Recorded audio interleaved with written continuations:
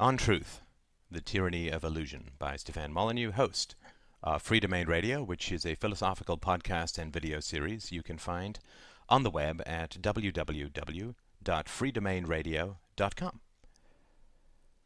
For my beloved wife, who teaches me all that is true and shows me everything that is possible. And to the listeners of Free Domain Radio, whose generosity and participation has made this book and all the books to come possible.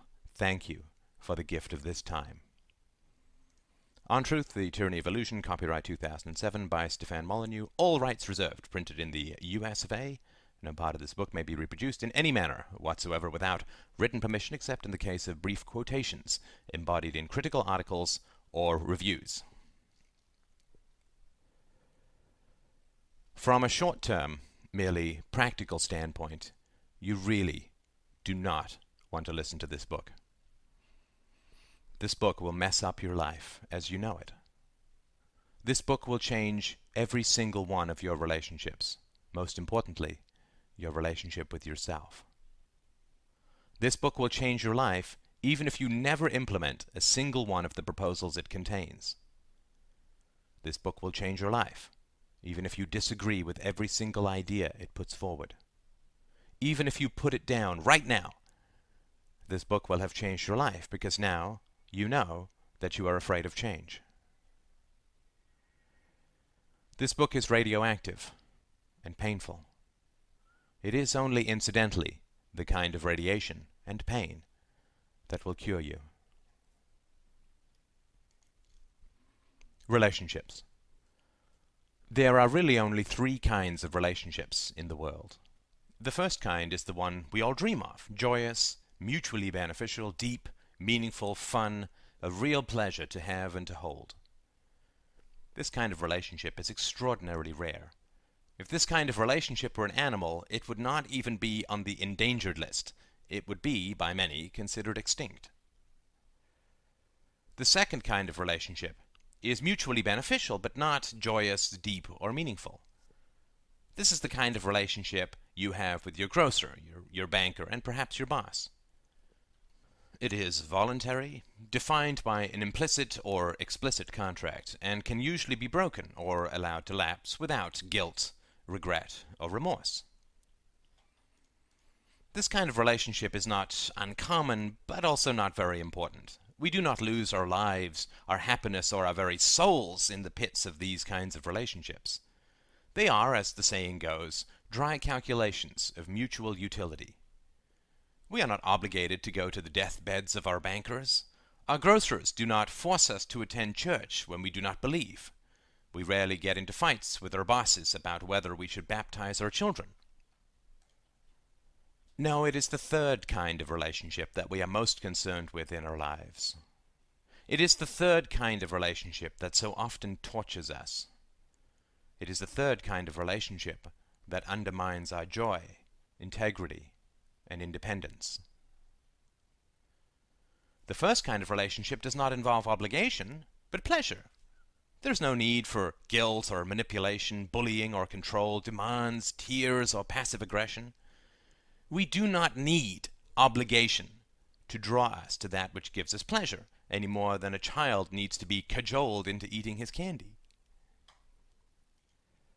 The second kind of relationship does involve obligation, but it is voluntarily chosen for mutual advantage. We pay our mortgage, the bank gives us a house. The relationship is contractual and thus does not need guilt or manipulation. It is the third kind of relationship that this book will focus on. It is the third kind of relationship that is eating us alive. The third kind. The third kind of relationship has three main components. The first is that it is not chosen.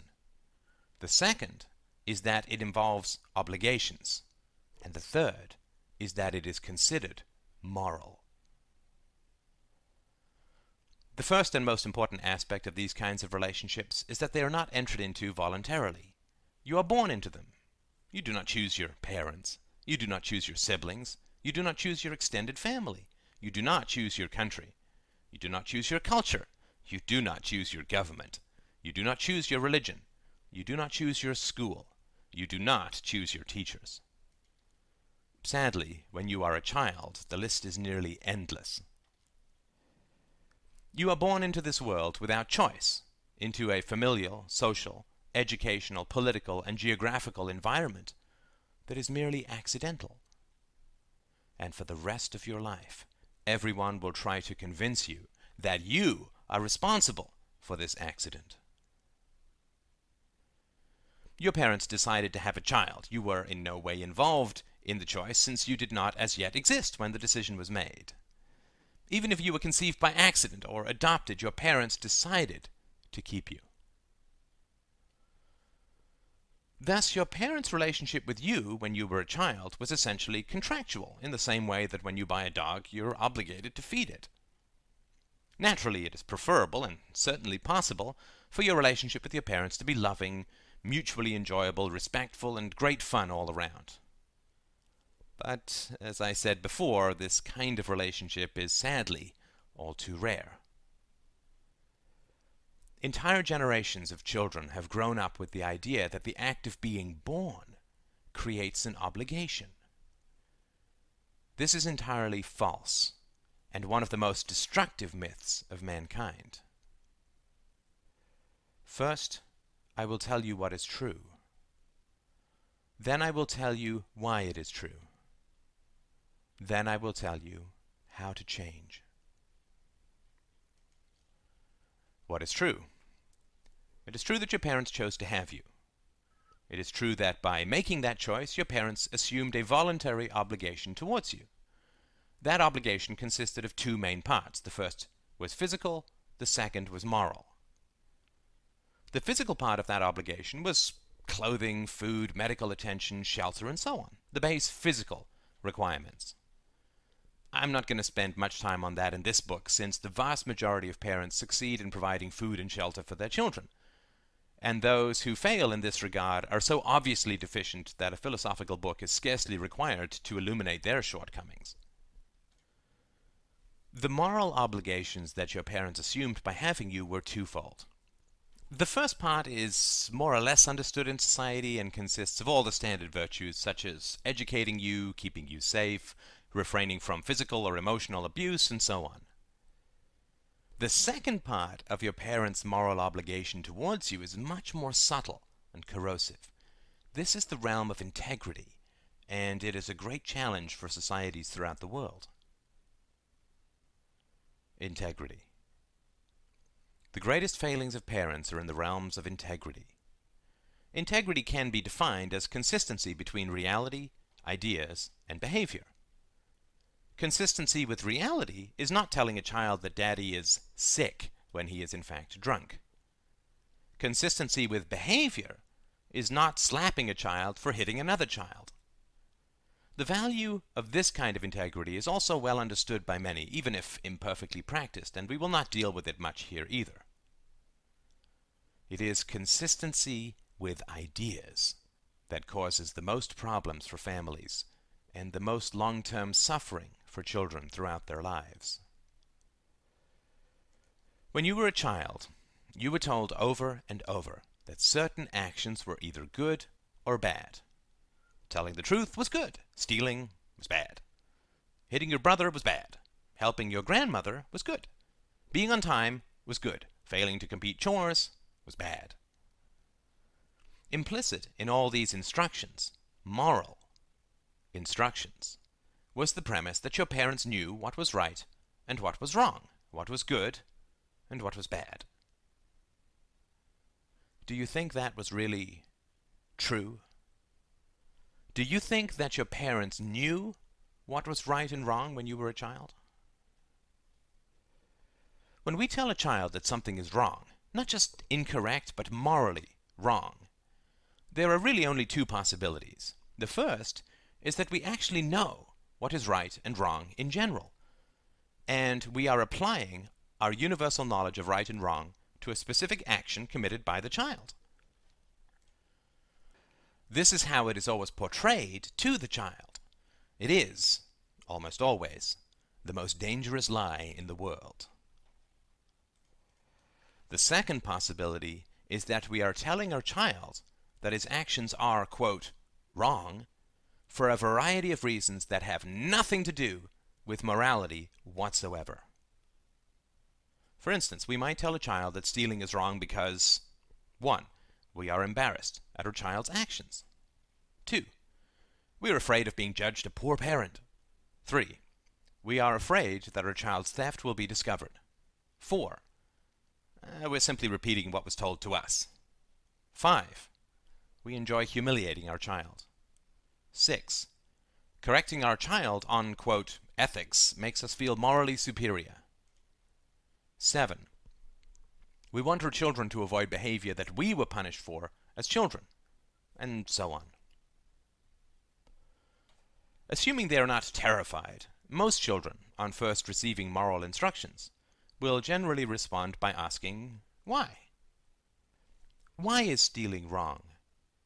Why is lying wrong? Why is bullying wrong? Why is hitting wrong? These are all perfectly valid questions, akin to asking why the sky is blue. The problem arises in the fact that parents have no rational answers, but endlessly pretend that they do. When a child asks us why something is wrong, we are put in a terrible bind. If we say that we do not know why lying is universally wrong, we believe that we will lose our moral authority in the eyes of our children. If we say that we do know why lying is wrong, then we retain our moral authority, but only by lying to our children. Since the fall of religion, we have lost our way in terms of ethics. As an atheist, I do not mourn the loss of the illusions of gods and devils, but I am alarmed at the fact that we have not yet admitted that the fall of religion has not provided us an objective and rational moral compass. By failing to admit to the fact that we do not know what we are doing ethically, we are perpetrating a grave moral error on our children. Basically, we are lying to them about being good. We tell them that certain things they do are right or wrong, yet we do not tell them that we do not know why those things are right or wrong. If our child asks us why lying is wrong, we can say that it causes people pain, but so does dentistry. Or we can say, you don't like it when someone lies to you, which would be an incentive to not get caught, not to refrain from lying. And so on. Every answer we come up with leads to more questions and inconsistencies. What do we do then? Why then, we must bully them. This does not mean hitting them or yelling at them, though sadly all too often this is the case, because as parents we have a near infinity of passive-aggressive tactics, such as sighing, acting exasperated, changing the subject, offering them a cookie, taking them for a walk, claiming to be too busy, distracting or rejecting them in a million and one ways.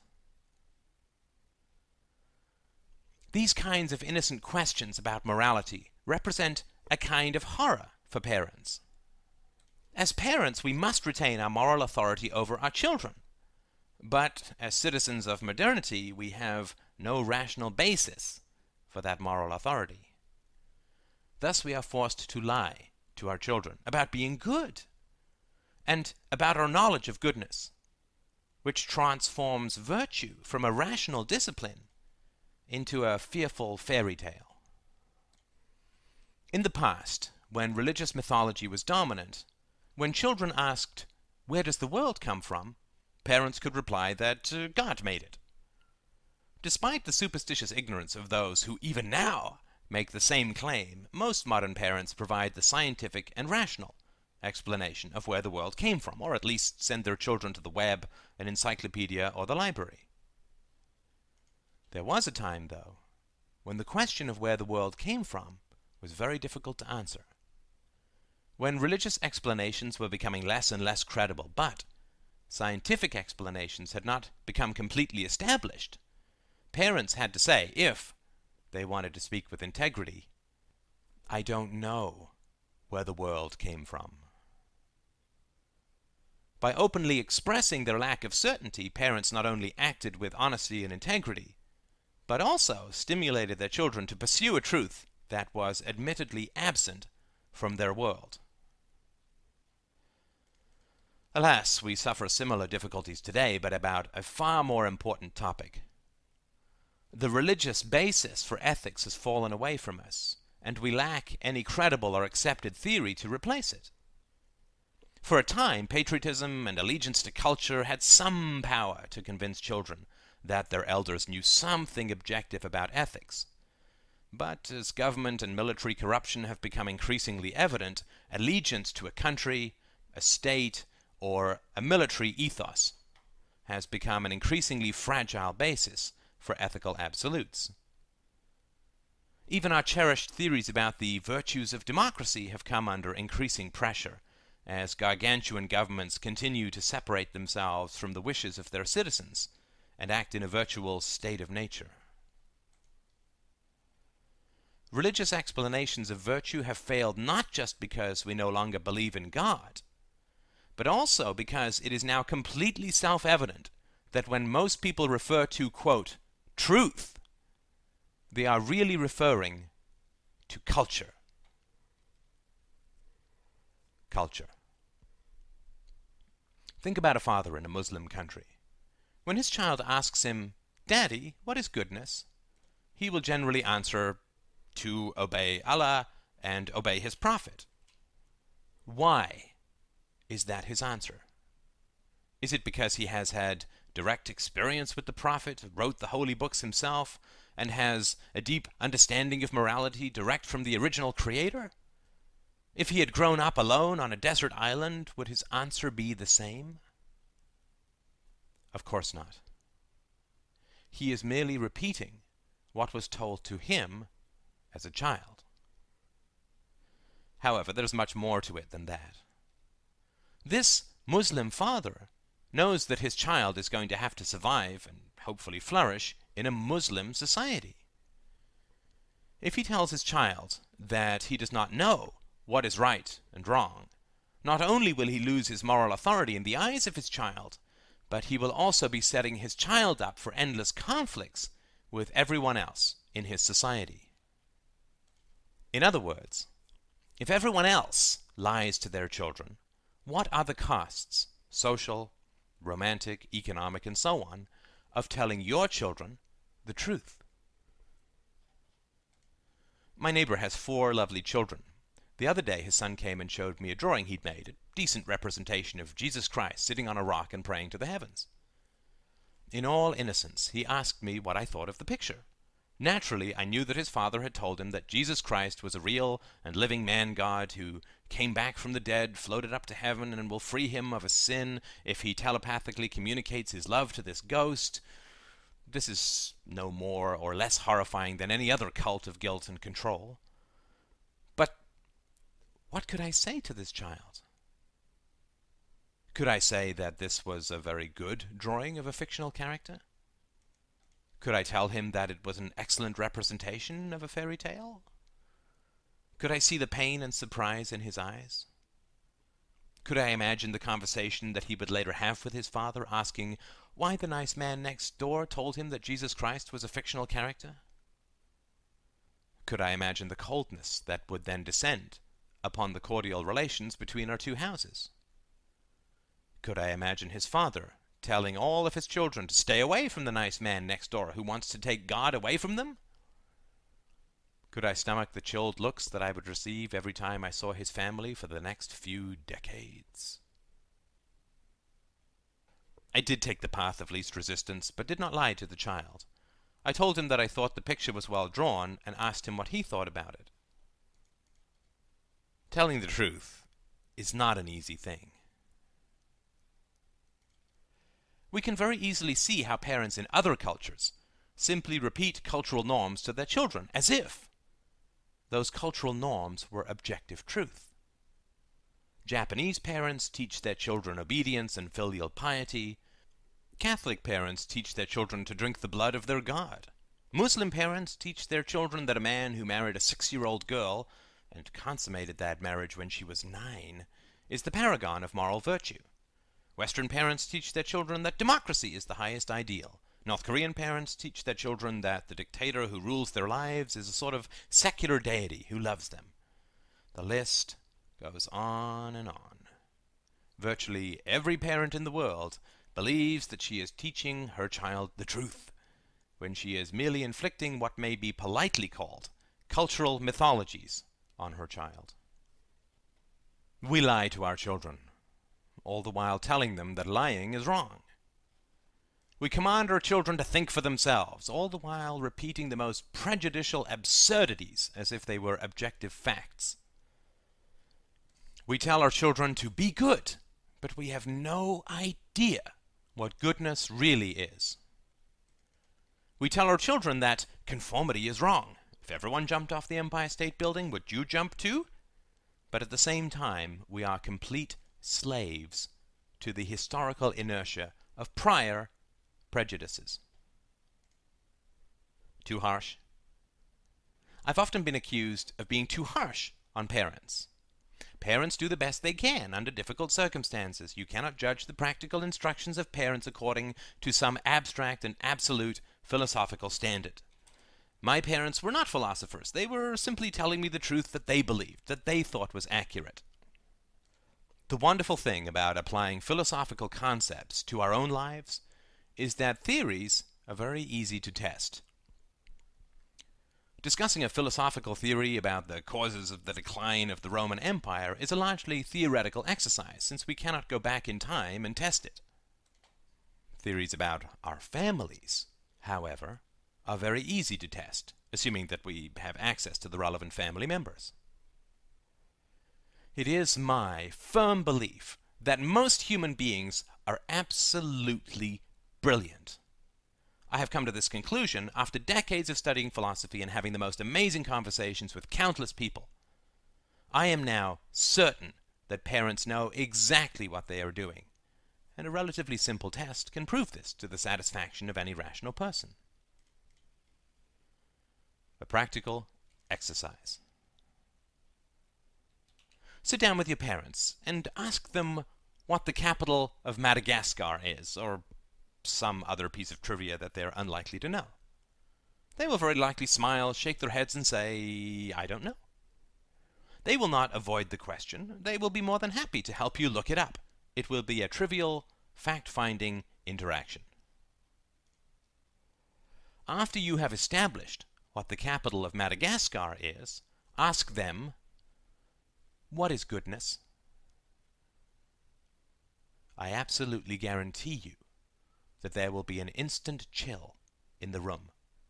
There will be an enormous amount of tension, and your parents, and probably you, will feel a very strong desire to change the subject or drop the question. Why is that? Why is it that when you ask your parents to explain what goodness is, the tension in the room spikes dramatically? Well, for the same reason that Socrates was introduced to a grim libation called hemlock. There is terror in the face of the question, What is goodness? Because authority figures claim the right to tell us what to do based on their superior knowledge. If we decide to learn karate, we submit ourselves to the judgment and instruction of somebody who is an expert in karate. If we become ill, we submit our judgment to a doctor, an expert in the field. In other words, when we lack knowledge, we defer to those who claim greater knowledge. Our parents claimed the right to instruct us on good and bad based on their great knowledge of ethics, not based on their power as parents. Our fathers did not say to us, Obey me or I will beat you. Although that terrible sentence might have come out of their mouths at some point, the basis of their ethics was that we owed them obedience as a just debt, and thus could be punished for failing to provide it. Honor thy father and thy mother is a staple of moral instruction the world over, both religious and secular. However, the honor that we are supposed to bestow upon our parents must be based upon their superior knowledge and practice of virtue. Otherwise, the word honor would make no sense. If we were thrown in jail, we would obey the prison guards because they held power over us, not because we, quote, honored them. If a mugger presses a knife to our ribs, we hand him our wallet, obey his wishes, not because we honor him, but because he has the power to harm us. By using the word honor, parents are claiming that we owe them allegiance due to their superior knowledge and practice of virtue. Currently, the foundational, quote, ethic of the family, the entire basis for the authority of adults, is that parents know right from wrong and children do not. Metaphorically, the parents are the doctors, and the children are the patients. Parents claim the authority to tell their children what to do for the same reason that doctors claim the authority to tell their patients what to do the superior knowledge of the former and the relative ignorance of the latter. If you are unwell, and put yourself in the care of a doctor and follow his instructions, but find that you do not get better, but in fact seem to get worse, it would be wise to sit down with that doctor and review his abilities, particularly if you cannot change physicians for some reason. Since following his instructions is making you worse, you must ask, why should I follow your instructions? It would be logical to begin by asking the doctor to confirm his actual credentials. Then you might continue by asking what his definition of health is to make sure that you were both on the same page. Then you would continue to drill down to more specific questions about the nature of your illness, the nature of his knowledge of the human body, and his understanding of your ailments, and the methodology by which he came up with your cure. This is the conversation that you must have with your parents regarding the nature of virtue and their knowledge of it. Your parents were the moral doctors of your being while you were growing up. If, as an adult, you are happy and healthy, full of joy, and engaged in deep and meaningful relationships, it is still worthwhile to examine the knowledge of your parents, since you may have children in time and will yourself become a doctor to them. If, however, you are not happy and fulfilled as an adult, then it is essential that you examine your parents' ethical knowledge. If your health regimen has been established by a quack who has no idea what he is doing, you will never be healthy as long as you follow his instructions, since one can never randomly arrive at the truth. If a madman passes himself off as a doctor, when a patient asks for his credentials, he will smile, spread his hands, and say, well, uh, of course I don't have any. His openness about his lack of knowledge and credentials establishes his relative innocence.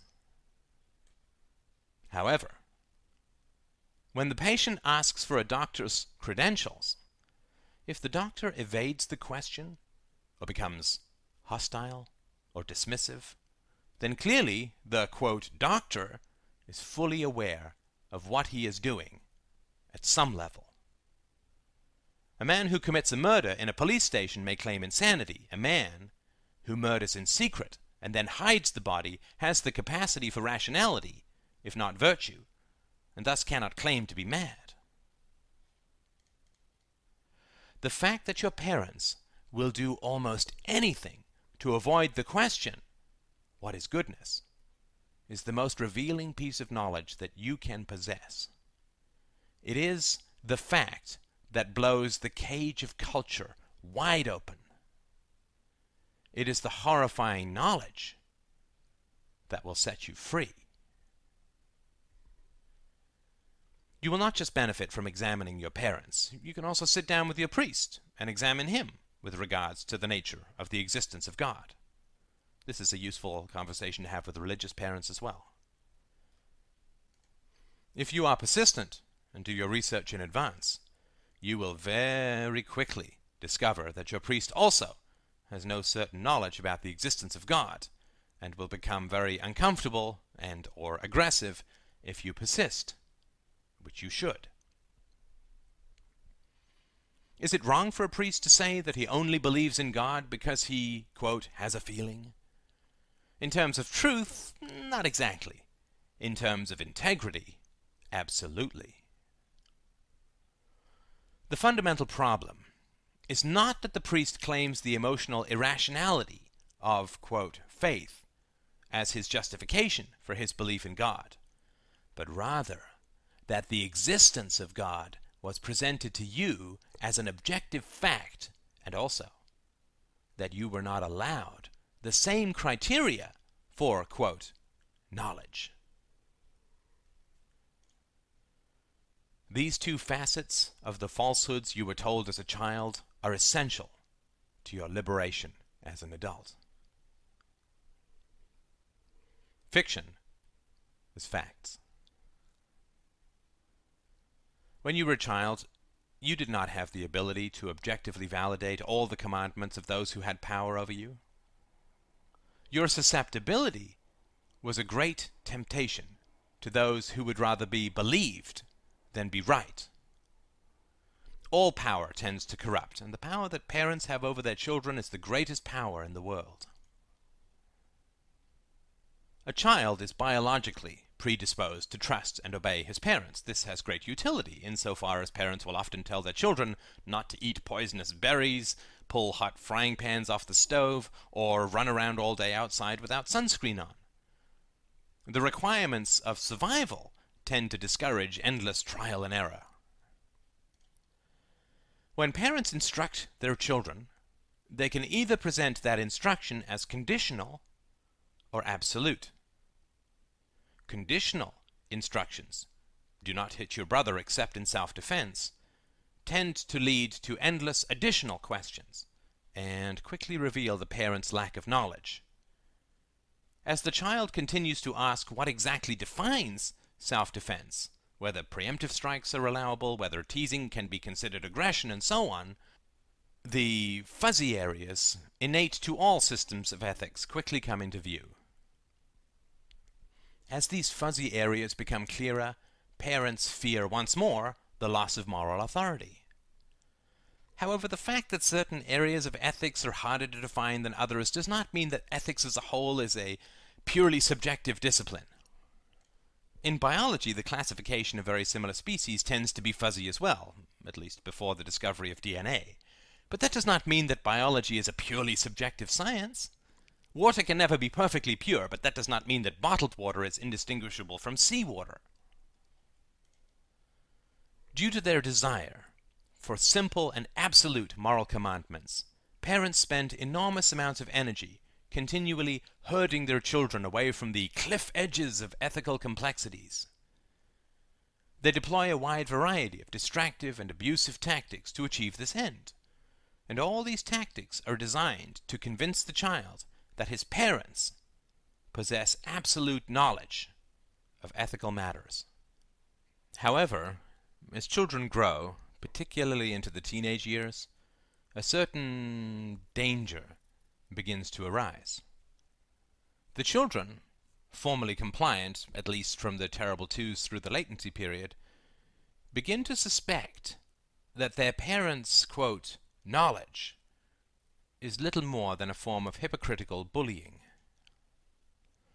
They begin to see the true conformity of their parents with regards to culture, and really begin to understand that what was presented to them as objective fact was in reality subjective opinion.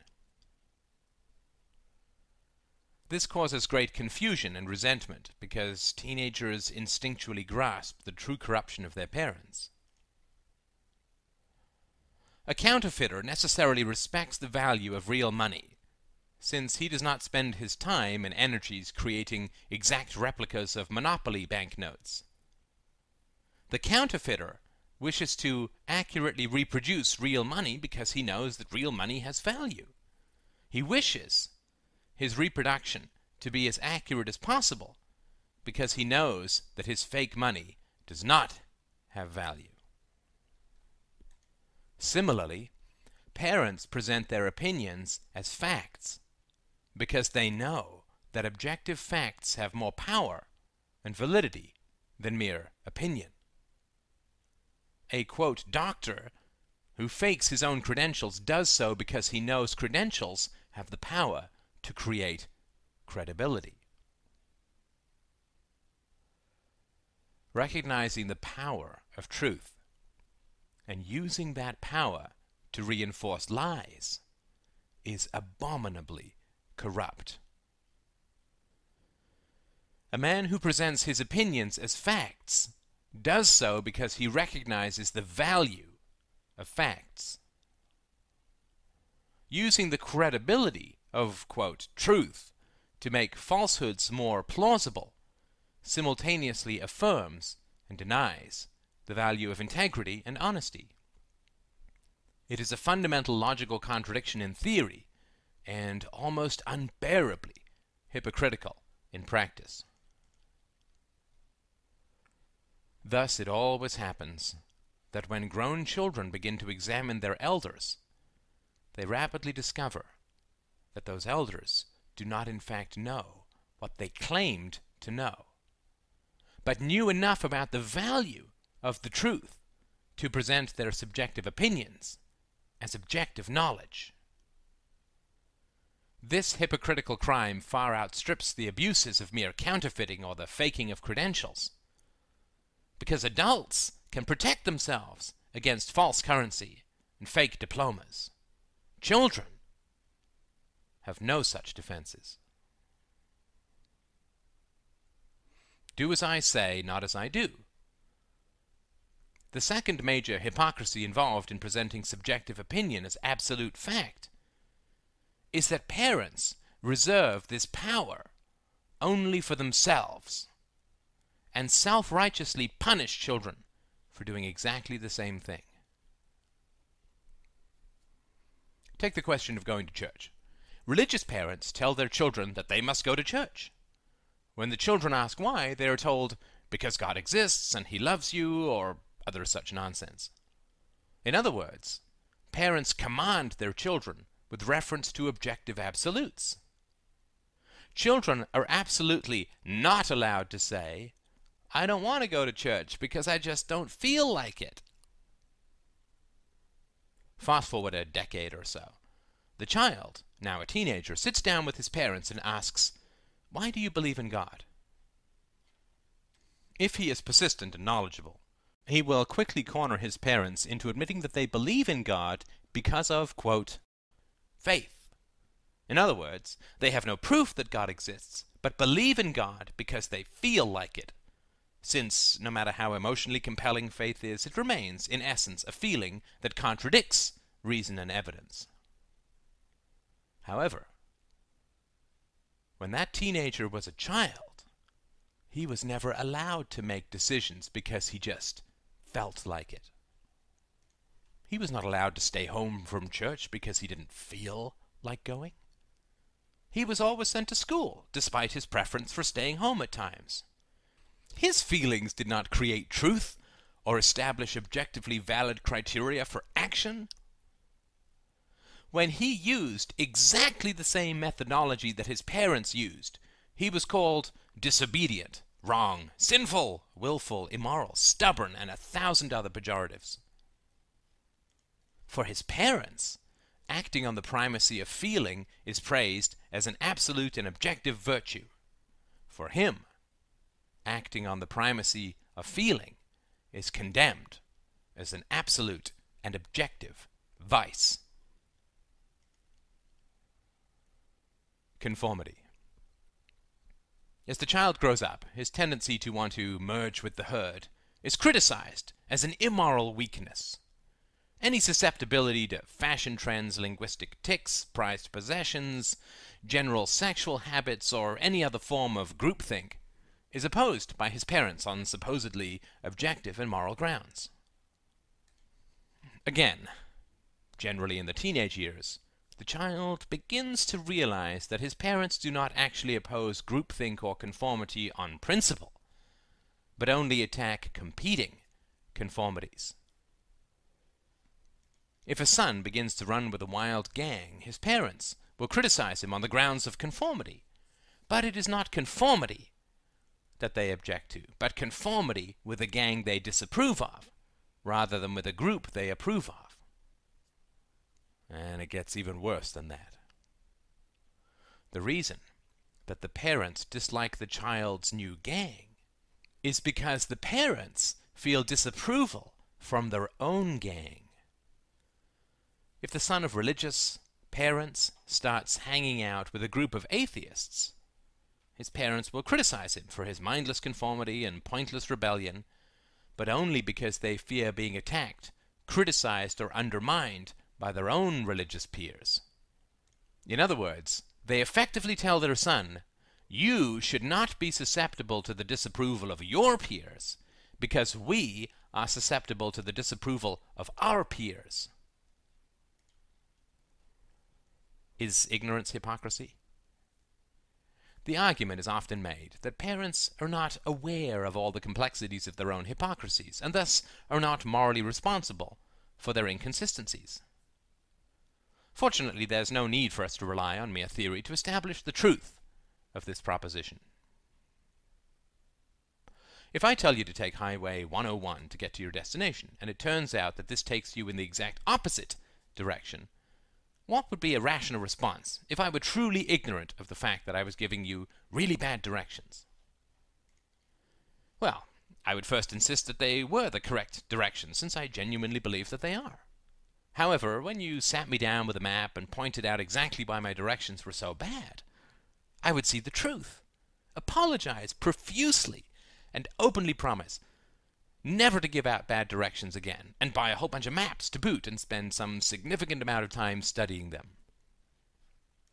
However, if I got angry the moment that you brought up that I had sent you in the wrong direction, and refused to look at any maps, and refused to admit that I was wrong, and kept changing the subject, and kept distracting you with emotional tricks, and got more and more upset, and refused to tell you how I came up with my directions, and ended up storming out of the room. You may be unsure of many things, but you would not be unsure of one thing, at least. You would no longer imagine that I was ever interested in giving good directions. In the realm of the parent-child relationship, this realization comes as a profound and terrible shock. This realization lands like a nuclear blast over a shantytown, radiating out in waves of destruction, smashing down the assumptions you have about all of your existing relationships. The moment you realize that your parents, priests, teachers, politicians, your elders in general, only used morality to control you, to subjugate you, as a tool of abuse, your life will never be the same again. The terrifying fact that your elders knew the power of virtue, but used that power to control, corrupt, exploit, and bully you, reveals the genuine sadism that lies in the core of culture. It reveals the awful cult in culture. A doctor who fakes his credentials is bad enough. How would any sane person judge a doctor who studies the human body, not to heal it, but to more effectively cause pain? A fraud is still better than a sadist.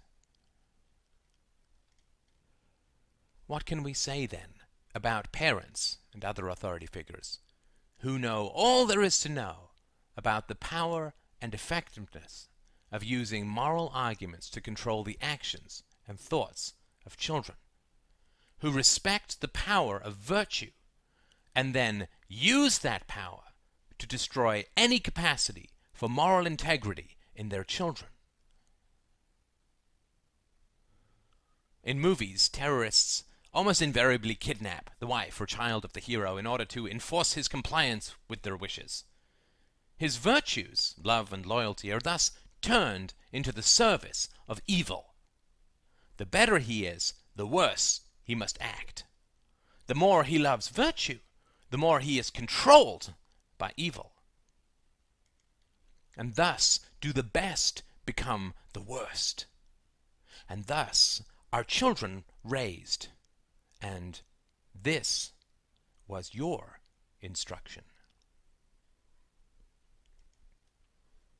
Reluctance.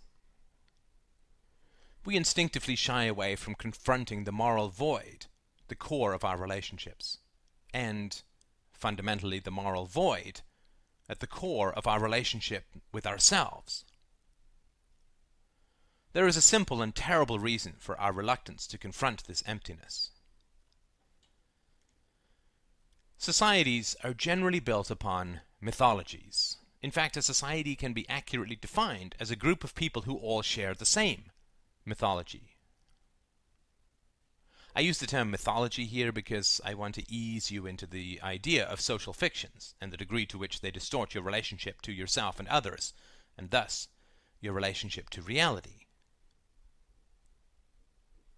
There are two major disciplines which help us dispel the corrosive cobwebs of social fictions and reach through them to grasp reality. The first is theoretical, the second is practical. The first discipline is logic, which is the process of organizing our thoughts in a systematic and non-contradictory manner.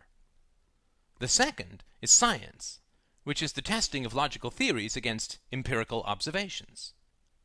The union of these two disciplines is philosophy, which is in its fundamentals the testing of theories of knowledge against both logic and empirical observation. Logic will tell you that 2 plus 2 equals 4. Science will verify that placing two rocks next to two other rocks will result in an aggregation of, yes, four rocks. But it is philosophy that tells us that logic plus empirical testability are both key requirements to the establishment of the truth. It is philosophy that specifically rejects the primacy of faith, or the primacy of emotion, or the primacy of authority, or the primacy of age, or the primacy of preference, or the primacy of biology, or any of the other foolish and exploitive mechanisms that human beings have used as substitutes for logic and evidence in order to inflict, quote, truth on the helpless. Philosophy is the opposite of mythology. Or, more accurately, truth is the opposite of falsehood. We are, all of us, deeply aware of the deficiencies of our beliefs. The basic knowledge that our beliefs are mere prejudices inflicted on us by parents and teachers is a fact that deep down we are all perfectly aware of. The amount of energy that we all put into pretending otherwise is staggering and debilitating. There is a reason that depression is one of the most prevalent forms of illness. The contradiction at the core of social mythology is that these cultural falsehoods are always presented as objective and absolute truths. Americans, for instance, are famously proud of their country and the beliefs that they have inherited from the Enlightenment philosophers and the Founding Fathers. This is a very strange notion when you examine it. The average American just happened to be born in America. It's a mere accident, not something earned.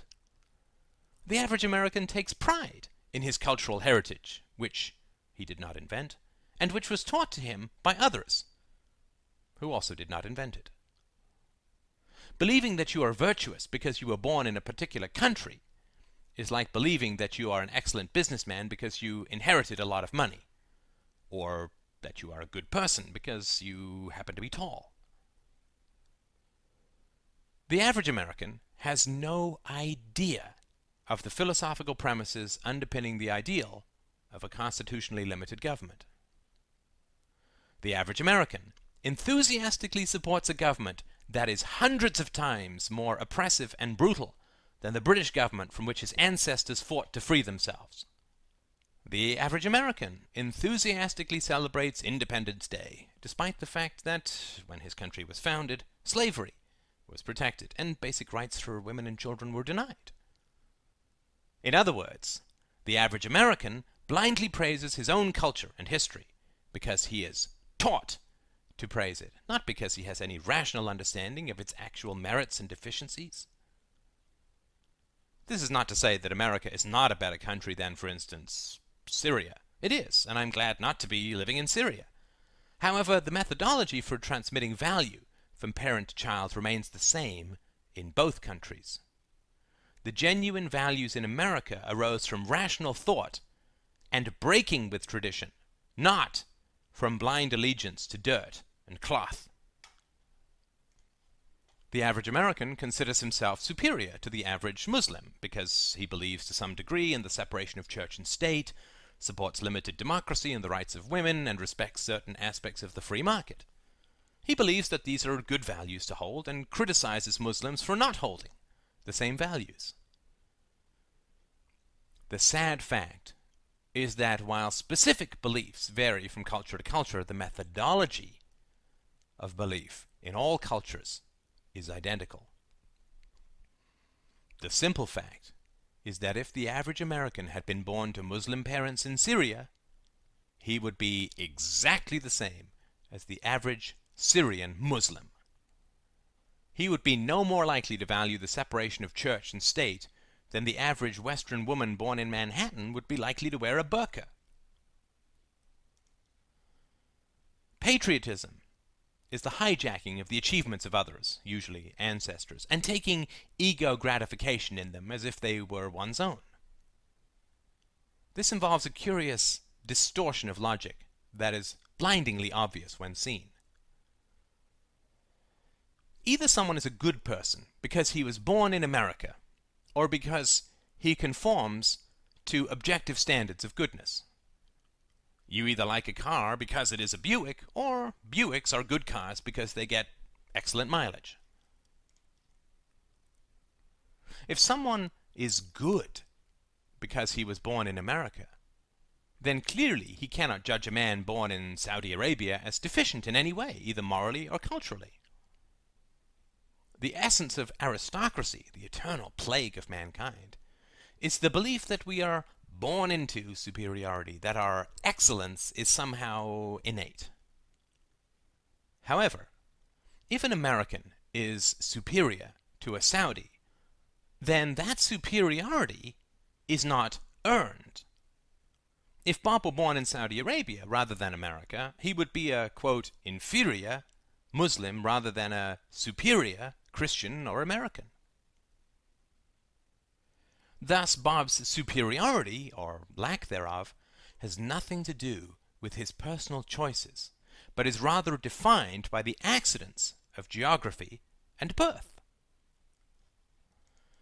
Either Bob claims to be better due to geography, which is impossible, or due to his own personal virtue, in which case geography has nothing to do with it. Both Americans and Muslims are simply reproducing what they are told, what is inflicted on them through emotional punishments when they are children, and calling it morality. This is exactly the same as a child who is force-fed, who then calls being overweight moral, while the child next door is underfed and then calls being skinny moral. Sports fans are the same way. The closest franchise is just somehow the best.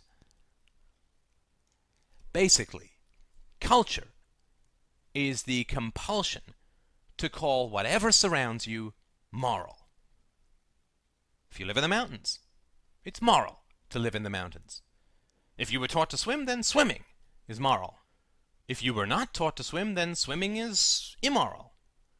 If you were taught to cover your legs, then baring your legs is immodest.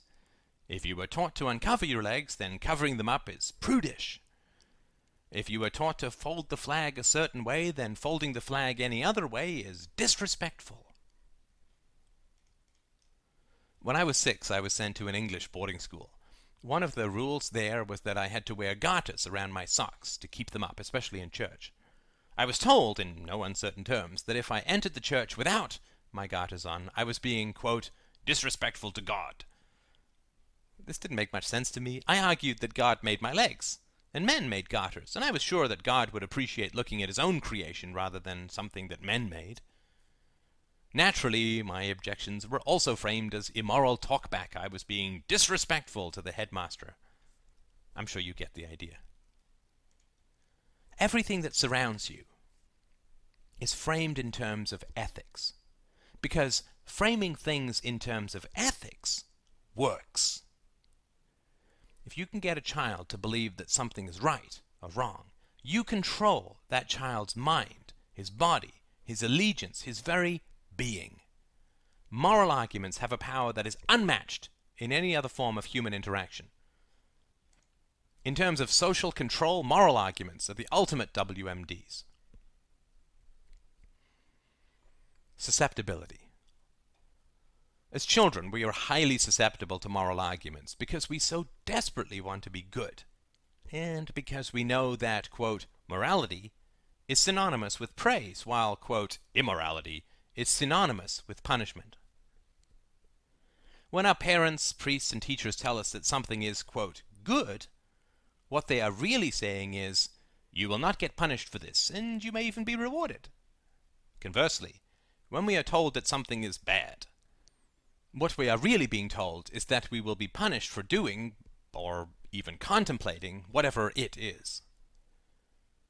We are not punished for being bad being bad is invented so that we may be, quote, justly punished. Those in authority are continually driven to hide their perpetual use of power over their victims. Our teachers do not like to openly tell us that they will hurt us if we disobey them because that is too naked a display of abuse of power. It is also a highly inefficient form of control. If your teacher were to say, if you lie to me, I will punish you, and just left it at that, then lying would always be more or less a calculated risk. And being punished for lying would have no more moral significance than being fouled while playing basketball. If a teacher is facing a class of 30 students, each of whom is calculating whether or not he can get away with a lie, then clearly, as more of them lie, each lie becomes that much harder to catch just as it is harder to figure out exactly who is talking when 20 children are chatting rather than just two.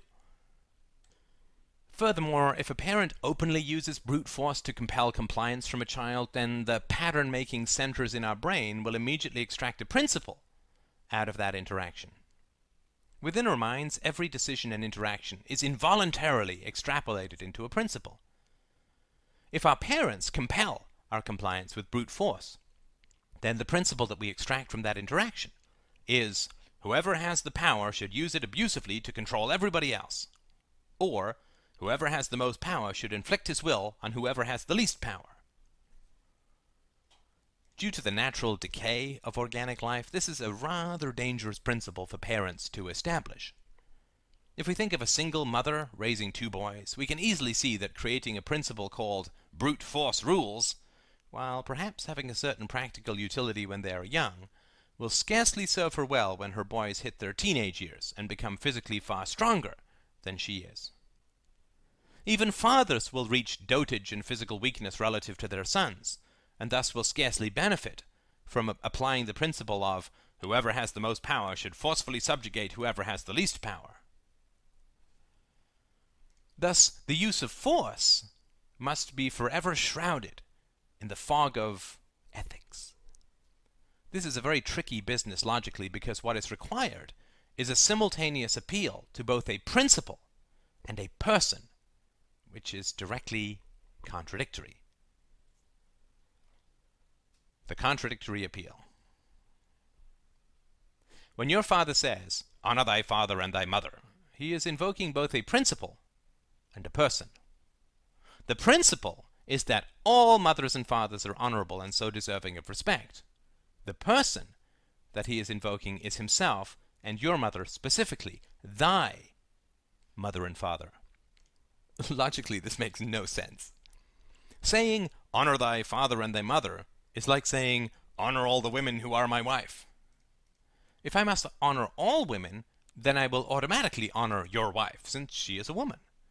If I must honor your wife, then there's no point saying that I must honor her as a woman, because that would involve honoring all women again. It's one or the other.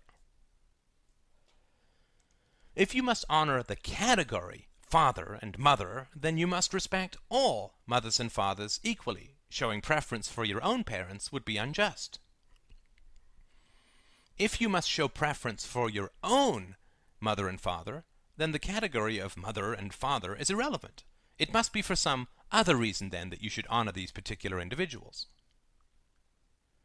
If you should bestow honor upon your mother and father as individuals, and for no objective principle, then what is really being demanded is not honor, but obedience towards individuals in the guise of honor as a principle.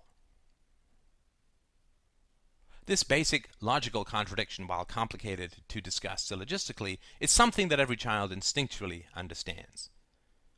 When our mother demands that we respect her, do we not feel contempt, frustration, and despair?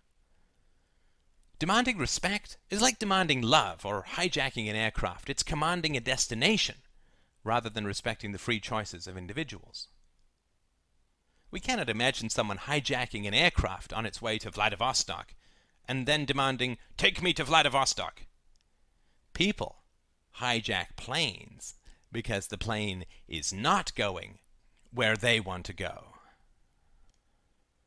Efficient control. If, however, through intimidation, the distinction between the principle and the person can be blurred and buried, a far more efficient mechanism of control is achieved. If a child, or a citizen, can be taught to obey a person as if that person were a universal principle, the foundations of hegemonic dictatorship, whether in the family, the church, the school, or the state, are firmly established. If a child's mind can be taught to obey the whims of an individual to the same degree that the child's body obeys the absolutes of gravity, then near perfect control can be established. Of course, this control incurs a terrible cost and a terrible risk. The cost accrues to both the parent and the child, as is the case in all corrupt interactions. By using false and inconsistent principles to teach the child to obey a person rather than a principle, the child's ability to extract principles from interactions is crippled. Such children inevitably grow up to repeat destructive patterns in relationships, seemingly without any ability to learn from their mistakes. How could they learn from their mistakes? They have been taught as a principle to obey individuals. How can they then conceivably extract generalized principles from the behavior of those individuals? That would be like hoping that water will flow uphill. Expecting such people to extract productive principles from their interactions with others is like expecting a medieval monk who believes that the world follows the whims of the gods to discover the theory of relativity or even the scientific method itself. For the parents, the cost is a perpetual and growing fear of the intelligence and perceptiveness of their children, which manifests in a variety of ways, such as genial blankness, corrosive contempt, yawning indifference, or fussy irritability for our parents and our elders in general, the modern world has virtually guaranteed that the gig is up. The antidote to false morality is a multiplicity of false moralities. The antidote to irrational prejudice is more irrational prejudices. It is by being able to see the world as a whole that we can finally set ourselves free. Detonating mythology. If we were only ever exposed to English, we would not think of it as English, just as language. The need to differentiate English as a language only arises when we come into contact with other languages.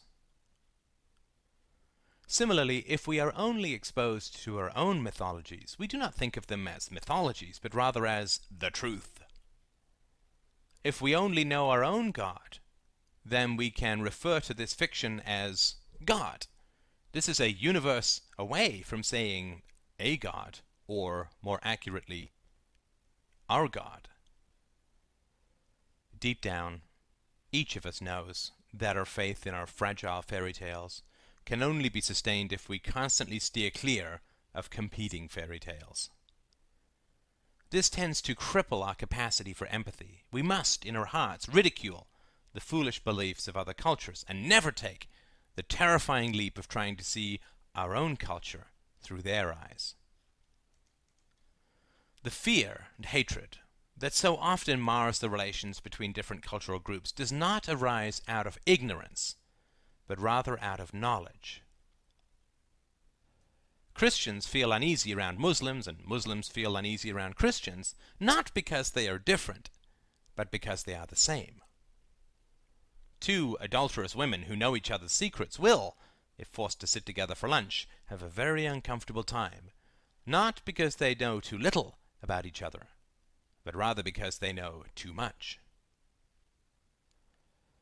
The only way that mythology can sustainably dominate generation after generation is by pretending that it is not mythology, but reality.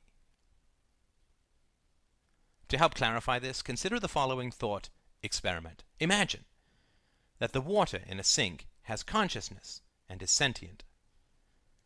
Now, imagine that I pour this water into a variety of glass containers, each of a different shape.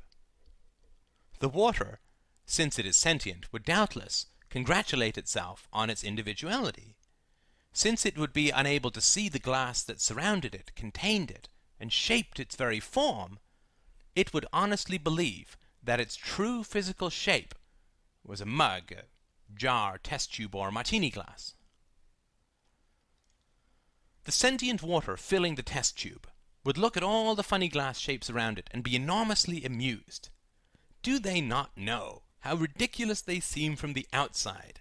Can they really imagine that that is their true shape? It's madness! It would chortle, pressed up against the glass of its own conceptual prison. And the water in the martini glass would look at all the other containers, including the test tube, and say exactly the same thing. And this, really, is the state of all the different cultures around the world. Each of us is poured into a clear glass container, which we believe represents the truth, which provides us with a shape and an identity that we mistake for human nature. And this can work relatively well, at least until we begin to catch sight of all the other glass containers surrounding us. For a time, we will endeavor to maintain the illusion that only other water is contained in an obvious glass container, not us. However, there are those among us who can break free from the glass cage of culture. We stand outside such containers, and from our vantage point, the differences in the sizes and shapes of the containers are practically irrelevant. The size and shape of your prison is not important. The fact that you are in a prison is. The knowledge that you are in a prison does not have to be learned. It only has to be accepted. It is not something that you do not know. At a very deep level, you are perfectly aware that what you call the truth is just the magical physics of invisible fairy tales. How do I know this? As with every idea in this book, there is no need to take my word for anything. You can easily discover your deep understanding of this fact with a few simple experiments. As I have mentioned before, you can sit down with your parents and ask them about goodness. You can sit down with your friends and tell them that you are afraid that you are living in a fiction that is sapping your joy and independence. You can go to a mosque and ask if you can observe. you can put yourself in someone else's glass container. See how you feel. Try it. Close your eyes for a moment and imagine sitting down with your parents to ask them about goodness, or having a drink with your friends and talking about social mythologies. Do you feel nervous?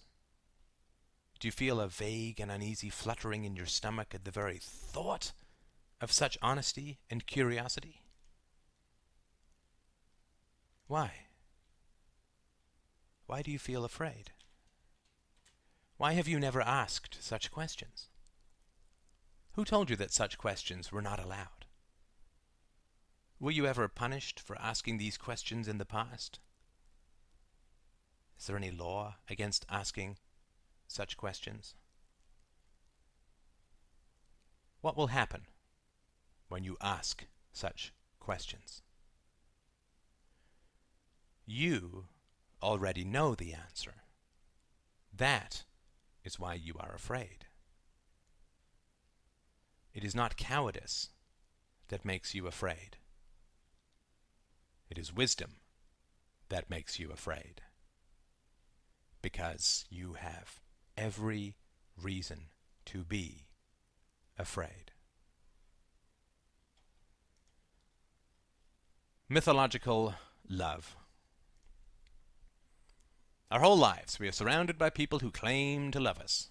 Our parents perpetually claim to be motivated by what is best for us. Our teachers eternally proclaim that their sole motivation is to help us learn. Our priests voice concern for our eternal souls, and extended family members endlessly announce their devotion to the clan.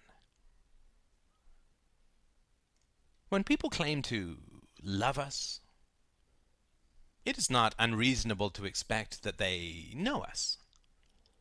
If you tell me that you love Thailand, but it turns out that you've never been there and know very little about it, then it is hard for me to believe that you really love it. If I say that I love opera, but I never listen to opera, well, you get the general idea. If I say that I love you, but I know little about your real thoughts and feelings, and have no idea what your true values are, or perhaps even what your favorite books, authors, or movies are, then it should logically be very hard for you to believe me. This is certainly the case in my family. My mother, brother, and father made extravagant claims about their love for me. However, when I finally sat down and asked each of them to recount a few facts about me, some of my preferences and values, I got a perfect tripod of thousand yard stares. So, I thought, if people who know almost nothing about me claim to love me, then either they are lying or I do not understand love at all. I will not go into details about my theories of love here, other than to say that, in my view, love is our involuntary response to virtue, just as well being is our involuntary response to a healthy lifestyle. Our affection for our babies is more attachment than mature love, since it is shared throughout the animal kingdom. Virtue is a complicated subject, but I'm sure we can agree that virtue must involve some basics that are commonly understood, such as courage, integrity, benevolence, empathy, wisdom, and so on. If this is the case, it cannot be possible to love people that we know very little about. If love requires virtue, then we cannot love perfect strangers because we know nothing about their virtues. Love depends both on another person's virtue and our knowledge of it, and grows in proportion to that virtue and knowledge if we are virtuous ourselves. Throughout my childhood, whenever I expressed a personal thought, desire, wish, preference, or feeling, I was generally met with eye rolling, incomprehension, avoidance, or, all too often, outright scorn. These various rejection tactics were completely co-joined with expressions of love and devotion. When I started getting into philosophy through the works of Ayn Rand originally, my growing love of wisdom was dismissed out of hand as some sort of psychological dysfunction. Since my family knew precious little about my virtues, and what they did know they disliked, then we could not all be virtuous. If they were virtuous and disliked my values, then my values could not be virtuous.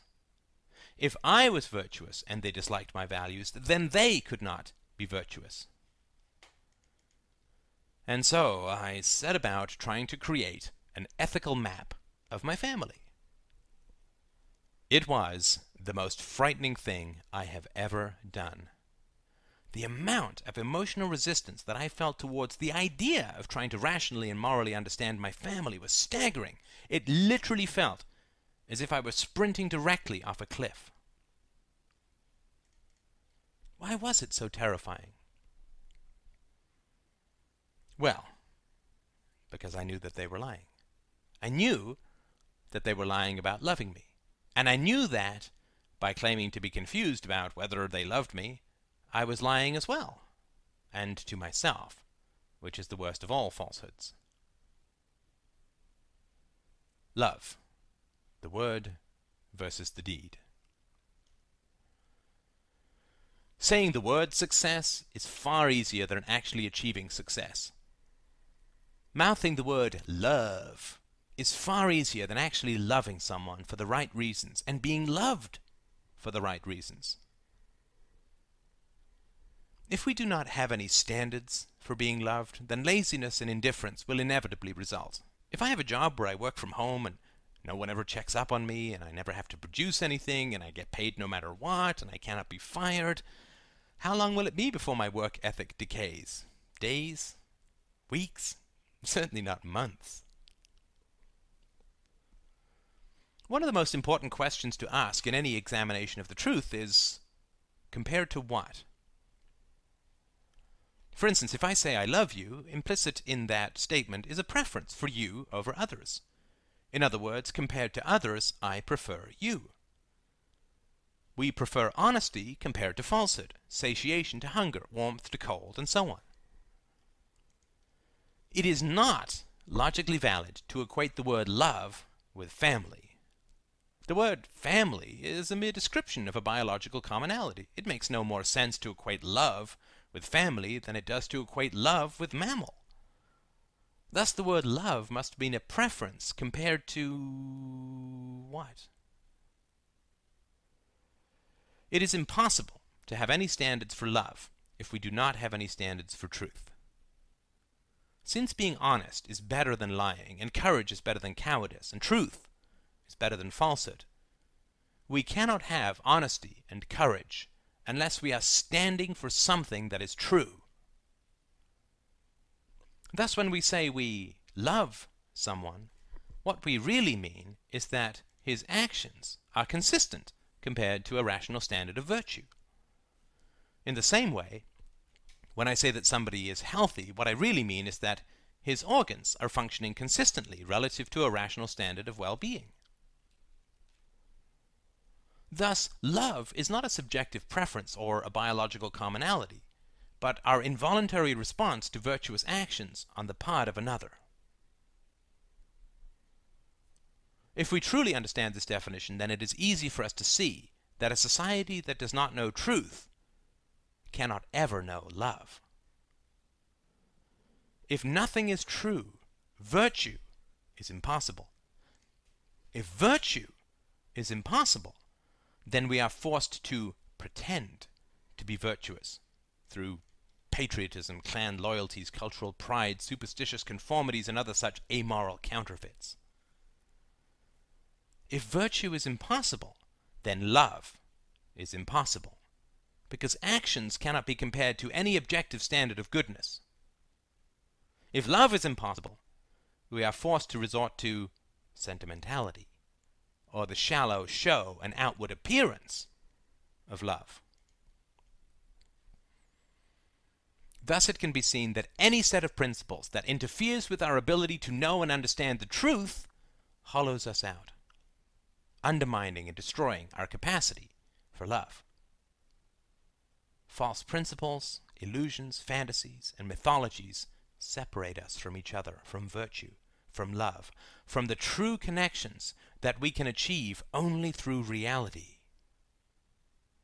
In fantasy, there is only isolation and pretense. Mythology is fundamentally loneliness and emptiness. Imagination versus fantasy. At this point, I think it would be well worth highlighting the differences between imagination and fantasy, because many people, on hearing my criticisms of mythology, think that they are now not supposed to enjoy Star Wars. Imagination is a creative faculty that is deeply rooted in reality. Fantasy, on the other hand, is a mere species of intangible wish fulfillment. It took Tolkien decades of study and writing to produce Lord of the Rings and each part of that novel was rationally consistent with the whole. That is an example of imagination. If I laze about daydreaming that one day I will make a fortune by writing a better novel than Lord of the Rings, but never actually set pen to paper, that is an example of fantasy. Imagination produced the theory of relativity, not fantasizing about someday winning a Nobel Prize. Daydreams that are never converted into action are the ultimate procrastination. Imagining a wonderful future that you never have to act to achieve prevents you from achieving a wonderful future. In the same way, imagining that you know the truth when you do not prevents you from ever learning the truth. Nothing is more dangerous than the illusion of knowledge. If you are going the wrong way but do not doubt your direction, you will never turn around. As Socrates noted more than 2,000 years ago, doubt is the midwife of curiosity, and curiosity breeds wisdom. Fantasy is the opposite of doubt. Mythology provides instant answers when people do not even know what the questions are. In the Middle Ages, when someone asked, Where did the world come from? he was told, God made it. This effectively precluded the necessity of asking the more relevant question What is the world? Because religious people believed they knew where the world came from, there was no point asking what the world was. Because there was no point asking what the world was, they never learned where the world came from. Fantasy is a circle of nothingness, forever eating its own tail. Defining love.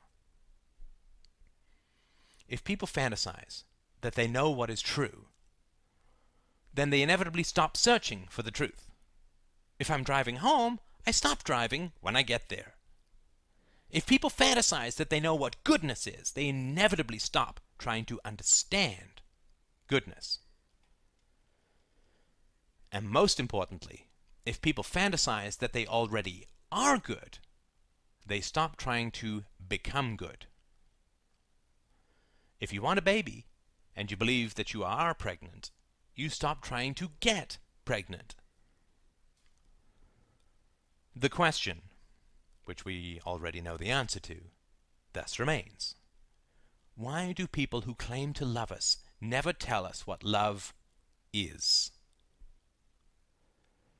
If I am an accomplished mathematician and my child comes to me and asks me about the times tables, it would be rude and churlish of me to dismiss his questions. If I go to my mother, who for thirty years has claimed to love me, and ask her what love is, why is it that she refuses to answer my question? Why does my brother roll his eyes and change the subject whenever I ask him what it is that he loves about me? Why does my father claim to love me while continually rejecting everything that I hold precious? Why does everyone around me perpetually use words that they refuse to define? Are they full of a knowledge that they cannot express? That is not a good reason for refusing to discuss the topics. A novelist who writes instinctually would not logically be hostile if asked about the source of his inspiration. He may not come up with a perfect answer, but there would be no reason to perpetually avoid the subject. Unless, unless, of course, he is a plagiarist. This is the knowledge that we have, but hate and fear. We know that the people who claim to love us know precious little about us and nothing at all about love. We know that the people who claim to love us make this claim in order to create obligations within us.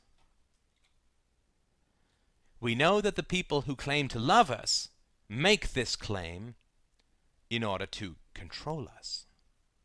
And they know it too. It is completely obvious that they know this, because they know exactly which topics to avoid. A counterfeiter will not mind if you ask him what the capital of Madagascar is. A counterfeiter will mind, however, if you ask him whether you can check the authenticity of his money. Why is this the one topic that he will try to avoid at all costs? Because he knows that his currency is fake.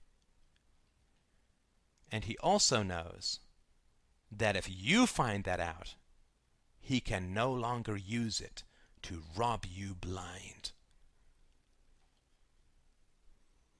Obligations. If I own a store and take counterfeit money from a conman, but do not know that it is counterfeit, then I am obligated to hand over what he has, quote, bought. In the same way, if I believe that I am loved, even when I am not loved, I am to a degree honor bound to return that love. If my mother says that she loves me and she is virtuous, then she must love me because I am virtuous. Since she is herself virtuous, then I owe her love as a matter of justice, just as I owe trust to someone who consistently behaves in a trustworthy manner. Thus, when somebody tries to convince you that they love you, they're actually attempting to create an obligation in you. If I try to convince you that I am a trustworthy person, it is because I want all the benefits of being treated as if I were a trustworthy person. If I am, in fact, a trustworthy person, then I must understand the nature of trust, at least at some level, and thus know that it cannot be demanded, but must be earned. Since earning trust is harder than just demanding trust, I must know the real value of trust. Otherwise, I would not have taken the trouble to earn it through consistent behavior. I would have just demanded it and skipped all the hard stuff. If you demand trust, then you are demanding the unearned, which indicates that you do not believe you can earn it. Thus, anyone who demands trust is automatically untrustworthy. Why do people demand trust? To rob others. If I want to borrow money from you and I demand that you trust me, it's because I'm not trustworthy and will be unlikely to pay you back. In other words, I want to steal your money and put you in my power. It's the same with love. Love and virtue. If I am virtuous, then virtuous people will regard me with at least respect, if not love. Corrupt or evil people may regard me with a certain respect, but they will certainly not love me. Thus, being virtuous and refusing to demand love from anyone is the best way to find other virtuous people. If you are virtuous and undemanding, then other virtuous people will naturally gravitate towards you. Virtue that does not impose itself on others is like a magnet for goodness and repels corruption. The practical result of true virtue is fundamental self-protection. If my stockbroker consistently gets me 30% return on my investments, is there any amount of money that I will not give him other than what I need to live? Of course not, because I know I will always get back more than I give. It's the same with real love. If I am virtuous, then I will inevitably feel positively inclined towards other virtuous people. And the more virtuous they are, the more I will love them. My energy, time, and resources will be at their disposal because I know that I will not be exploited and that they will reciprocate my generosity. If you and I have lent money to each other over the years and have always paid each other back, then the next time that you come to me for a loan, it would be unjust for me to tell you that I will not lend you anything because I do not think you will pay me back. Your continued and perpetual honesty towards me in financial matters has created an obligation in me towards you. This does not mean that I must lend you money whenever you ask for it, but I cannot justly claim, as my reason for not lending you money, a belief that you will not pay me back. In the same way, if you've been my wife for 20 years and I've never been unfaithful, if a woman calls and then hangs up, it would be unjust for you to immediately accuse me of infidelity. A central tactic for creating artificial and unjust obligations in others is to demand their positive opinion without being willing to earn it. The most effective way to do this is to offer a positive opinion which has not been earned, to claim to love others. If over the past 20 years I've rarely paid back any money I've borrowed from you, it is perfectly reasonable to refuse me an additional loan. I may then get angry and call you unfair and demand that you treat me as if I were trustworthy, but it would scarcely be virtuous for you to comply with my wishes. Indeed, it would be dishonest and unjust for you to ignore my untrustworthiness, because you would be acting as if there was no difference between someone who pays back loans and someone who does not. When we act in a virtuous manner towards others, we are creating a reservoir of goodwill that we can draw upon, just as when we put our savings into a bank. A man can act imperfectly and still be loved, just as a man can eat an occasional candy bar and still be healthy, but there is a general requirement for consistency in any discipline. I could probably hit a home run in a major league ballpark once every thousand pitches, but that would scarcely make me a professional baseball player. If I act in a trustworthy manner, I do not have to ask you to trust me and in fact I would be very unwise to do so. Either you will trust me voluntarily, which means that you respect honorable and consistent behavior and justly respond to those who do good, or you will not trust me voluntarily, which means that you do not respond in a just manner to trustworthy behavior, and thus cannot be trusted yourself. If, on the other hand, I come up to you and demand that you trust me, I am engaged in a complex calculation of counterfeiting and plunder. The first thing that I am trying to do is establish whether or not you know anything about trust. The second thing is to figure out your level of confidence and self-esteem. The third thing is to figure out if you know anything about integrity. An attacker will always try to find the weakest chink in your armor. If I demand trust from you, and you agree to provide it without any prior evidence, then I know that you do not know anything about trust. Similarly, if you do not require that your trust be earned, then I know that you lack confidence and self-esteem. If you are willing to treat me as if I were trustworthy when I am not trustworthy, then it is clear to me that you know very little about integrity. This tells me all I need to know about your history. This tells me that you were never treated with respect as a child, and that you were never taught to judge people according to independent standards, and that every time you tried to stand up for yourself, your family attacked you. In other words, I will know that you are easy prey. I cannot create an obligation in you unless you accept that I have treated you justly in the past. As in all things, it is far easier to convince a weak person that you have treated him justly than it is to actually treat people in a just and consistent manner. If I can convince you that I have treated you justly in the past, then you, quote, owe me trust and respect in the present. Quote, love as predation. Imagine that we are brothers, and one day you awake from a coma to see me sitting by your bed. After some small talk, I tell you that you owe me a thousand dollars, which you borrowed from me the day of your accident. I tell you that because I am a kind brother and you are in hospital, you do not have to pay me back the thousand dollars. I would just like you to remember it, so that the next time I need to borrow a thousand dollars, you will lend it to me.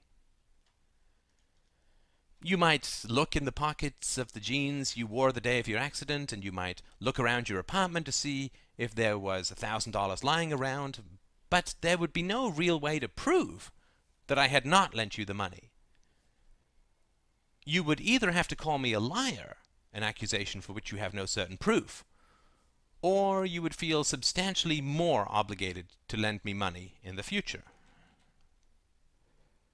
If you call me a liar, I will get angry.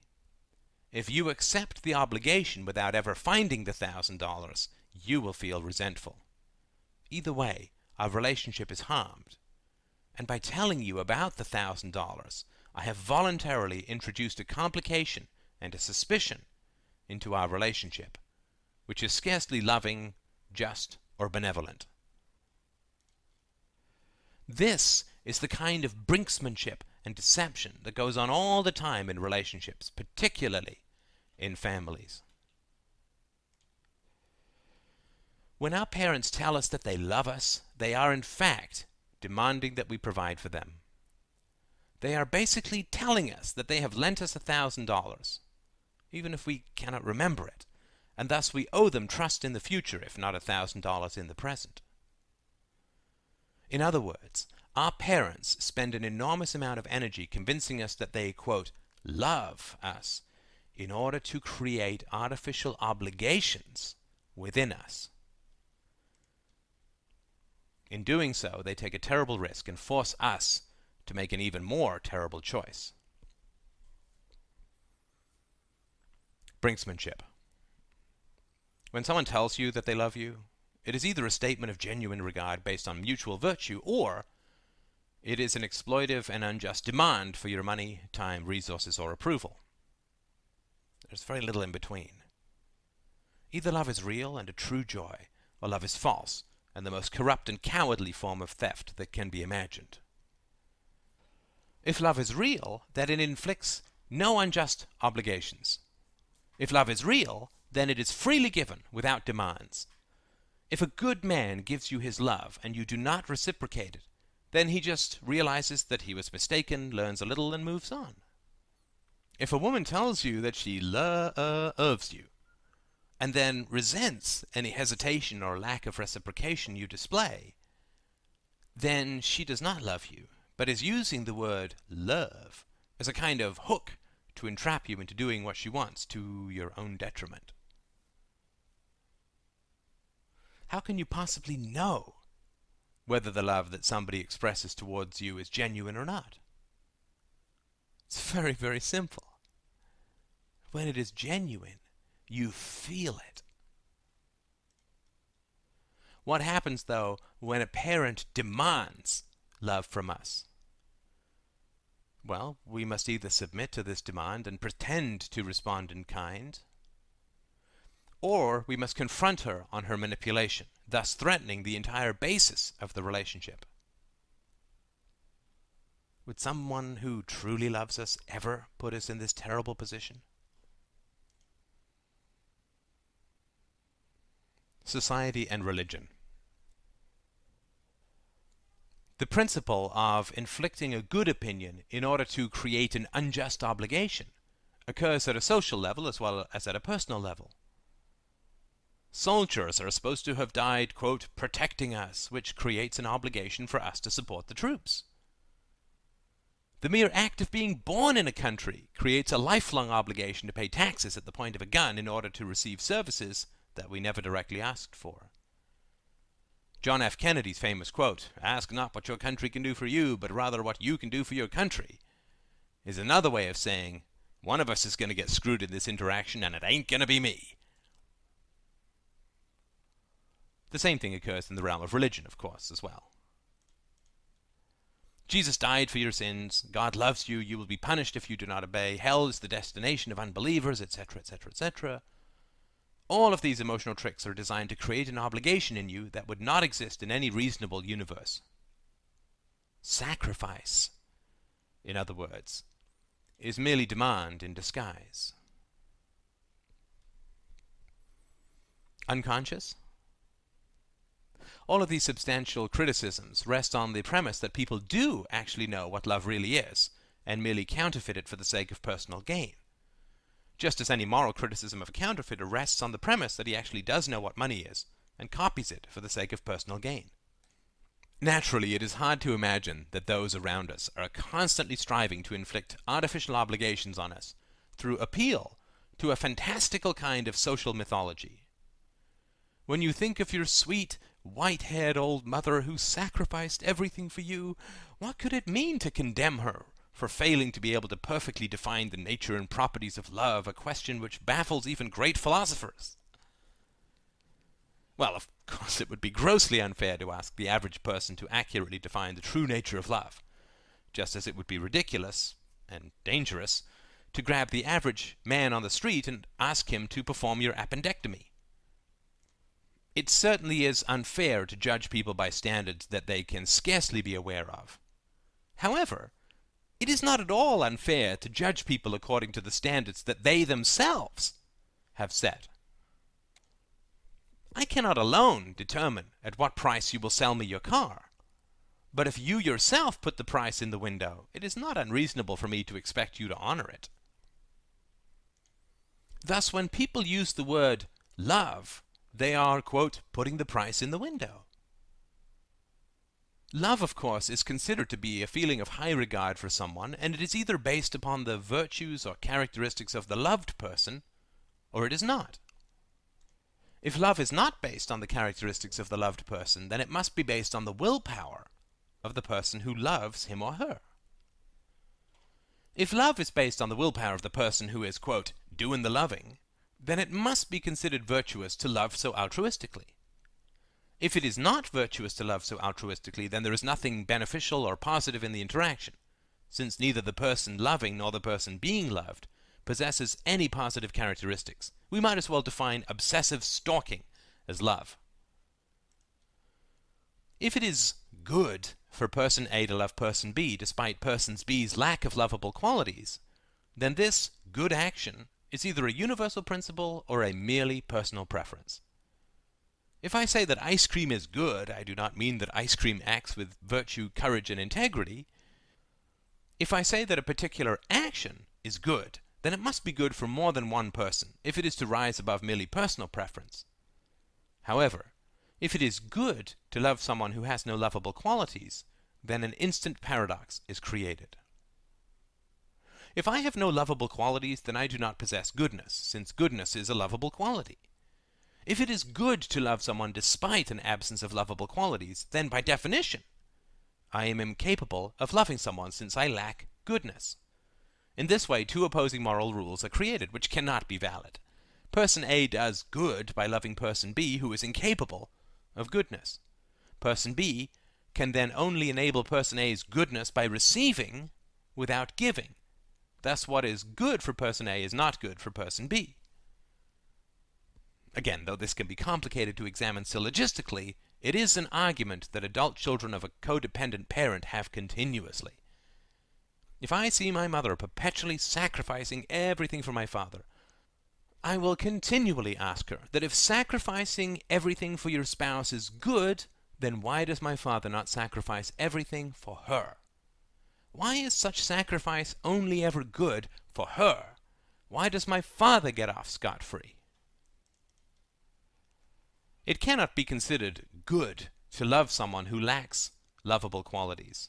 Love, then, is a form of payment for virtue. I must confess that I understood this at the age of 13 when I was a very shallow young man. In school, word got around that I was going to ask a girl to a dance. My criteria, sadly, was solely based on physical attractiveness. When my classmates cornered me and pestered me to reveal whom I was going to ask out, I finally mentioned the girl's name and was greeted with rather a shocked silence. This girl, while admittedly attractive, was considered rather coarse and unintelligent. Why would you ask her? a friend demanded. Uh, because of her personality, I stammered, convincing no one. Why was it that even at such a tender age I felt the need to invent virtue as the basis for my desire? Would it have been wrong to say, She's kind of purty, and be satisfied with that? And the looks in the faces of the people around me were very interesting. It was not so much that they knew I was lying, that much was obvious. It was more that they knew why I was lying. And they actually had some sympathy for that, I think. They knew that I was lying because it is easier to make up good reasons for wanting the wrong thing than to actually want the right thing. And this lesson we have been well taught by our teachers, but I will get to that later. When I was about 11, I stole some money from my brother to buy a book. He suspected me of the theft and spent a good deal of time and energy cross-examining me as to where I'd gotten the money to afford the book. He could never prove that I stole the money, and I stonewalled and evaded with fairly decent ability. There are three things that I remember very strongly from that long afternoon. One, I was not troubled fundamentally about stealing, but only worried about getting caught. Two, if someone had asked me if stealing were wrong, I would have said yes and mean it. Three, I was not worried about that blatant contradiction. In other words, I knew that stealing was wrong, but that knowledge was a mere abstraction, like knowing how many moons Jupiter has or the name of the drummer for Led Zeppelin. I believed that stealing was wrong, but what that really meant was that I knew that I would get punished if I did not say that stealing was wrong. So I said it aloud, like a magical spell that wards off punishment, like any pagan. It was similar to how I would chant out my times tables before I had any real understanding of arithmetic. The sentence was not, Yes, I know that stealing is wrong, but I wanted a book. It was even less related than that. Stealing is wrong, and I wanted a book. Just two facts, a principle and a desire, not even orbiting one another. Did I know that stealing is wrong? Sure, I think I did. But for me, wrong just meant disapproved of. By this time, I had lived in a number of different countries and classes, and I knew that wrong was not objective because disapproved of varied so enormously from place to place. And obviously, I myself approved of taking the money from my brother because I did it. So there was my little approval and lots of other people's disapproval, and I thought, well, if other people get to disapprove of things that I prefer, then surely I have the right to approve of things that they do not prefer. Logical, you may say. Amoral, but logical. And I would have to agree. But the important issue is that I knew the rules, then I broke the rules by applying them to myself, and so I just made up new rules. This is, I believe, far more common than is generally admitted. And so we come to the fundamental question. How responsible are we in the face of our own hypocrisies? The open cage. I'd like you to imagine a man standing in the middle of a large meadow. You spend some time watching this man, and it doesn't take you very long to notice that he paces back and forth in a small square about 10 feet on either side. That's all. Just 10 feet. After a few hours of watching him do this, you walk up to him. When you reach forward to shake his hand, however, your fingers are burnt by a strong electrical shock from an invisible barrier. Startled and hurt, you cry out. The man looks up. What's the matter? he asked. I just ran into this invisible wall which gave me a hell of a shock, you cry. He frowns. I didn't see anything. You blink. Really? You've never heard or seen or felt this invisible barrier? He shakes his head slowly. What invisible barrier? The one that surrounds you, the one that keeps you penned in this little ten-foot square. What little ten-foot square? he demands. There's no little ten-foot square. I can go wherever the hell I want. No, you can't. Who the hell are you to tell me where I can and cannot go? I decide that.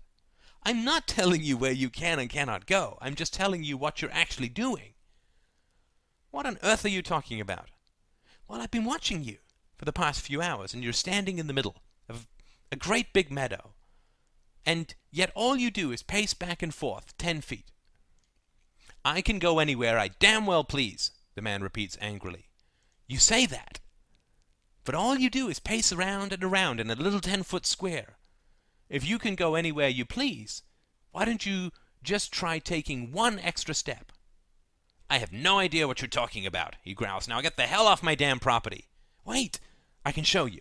You reach down and pick up some grass. You throw it towards the man. A few feet away from his face, the blades of grass burst into flame and evaporate. You do this several times, proving definitively that there is in fact an invisible force field that surrounds him, roughly 10 feet by 10 feet. Do you see? You ask eagerly. Do you see that you are in an invisible cage? Get the hell off my property, you madman, he cries, shaking with rage. But you must know that you are in an invisible cage. You cry out. You must know that, because you never tried to go outside these walls. You must have, at one time, tried to break free of this cage and were burned by the electric shock, which is why you never take more than a few steps before turning around. Don't you see? He pulls out a gun, screams that he has a principle of shooting trespassers, and, quite sensibly, you run away. This is the great paradox of attempting to teach people what they already know. Everybody claims complete freedom, but paces back and forth, trapped in a little square. Everyone is surrounded by the invisible cages of culture and mythology and denies it completely.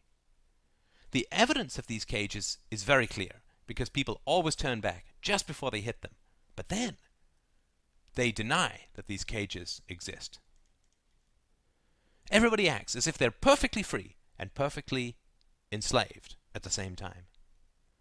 Nobody admits to being in a prison, but everyone shuffles around in an invisible 10 by 10 cell.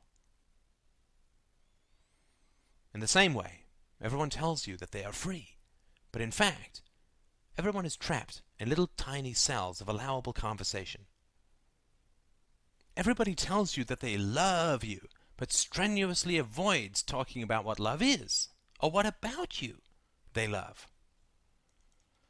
Everyone tells you to be good, but they have no idea what goodness is, and will savage you for even having the temerity to ask the question. Everybody talks about the truth, but the real truth is that nobody can talk about the truth, what it is, how it is defined, how it is verified, and its value. Responsibility. If the man in the meadow were put into his cage when he was a toddler, he would have discovered the limits of his confinement painfully when he was very young. It is entirely conceivable that he would end up just avoiding his invisible prison bars to retain his illusion of freedom and repress the pain of imprisonment. If you cannot escape your prison, then you might as well imagine that you're free. The man is not responsible for being put in the cage when he was a toddler.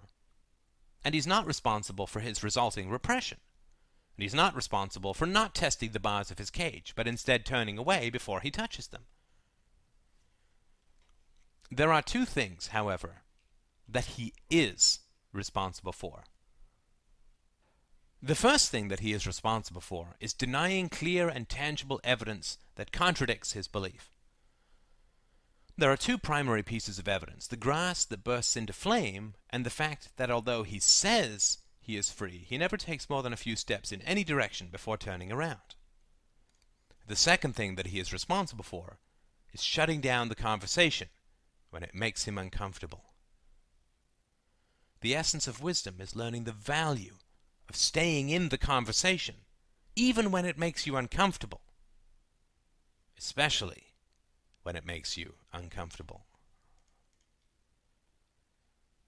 Falsehood and conversation. The most important thing in life is not to lie to other people. Honesty is the most fundamental virtue. Now, just about every time a philosopher brings up the virtue of honesty, a blizzard of questions blocks his progress. Questions designed to find the fuzzy areas at the limits of ethical behavior, such as Is it okay to lie if someone holds a gun to your head and demands to know where your wife is so that he can kill her? This is all very interesting, but absolutely irrelevant to the world as it is. In the world as it is, we are so far from being able to tell the truth to each other. That focusing on the fuzzy areas of practical honesty is like asking a man who stumbles into an emergency room clutching his own severed arm if he needs a manicure. Or, to take another medical analogy, I view philosophers as essential doctors in the middle of a terrible plague. All around us, people are writhing and dying, and we must work as hard as we can to save as many people as we can, with the full knowledge that very few people will make it. Most modern philosophers, however, are sitting in the midst of all of this suffering and debating what the best course of action should be if a patient presents with a heart attack, diabetes, and a hangnail and is struck by lightning while being examined. My response to that is when we have reached a world that is so healthy that the once a century problems are the most important things that we can deal with, we shall scarcely need philosophy at all.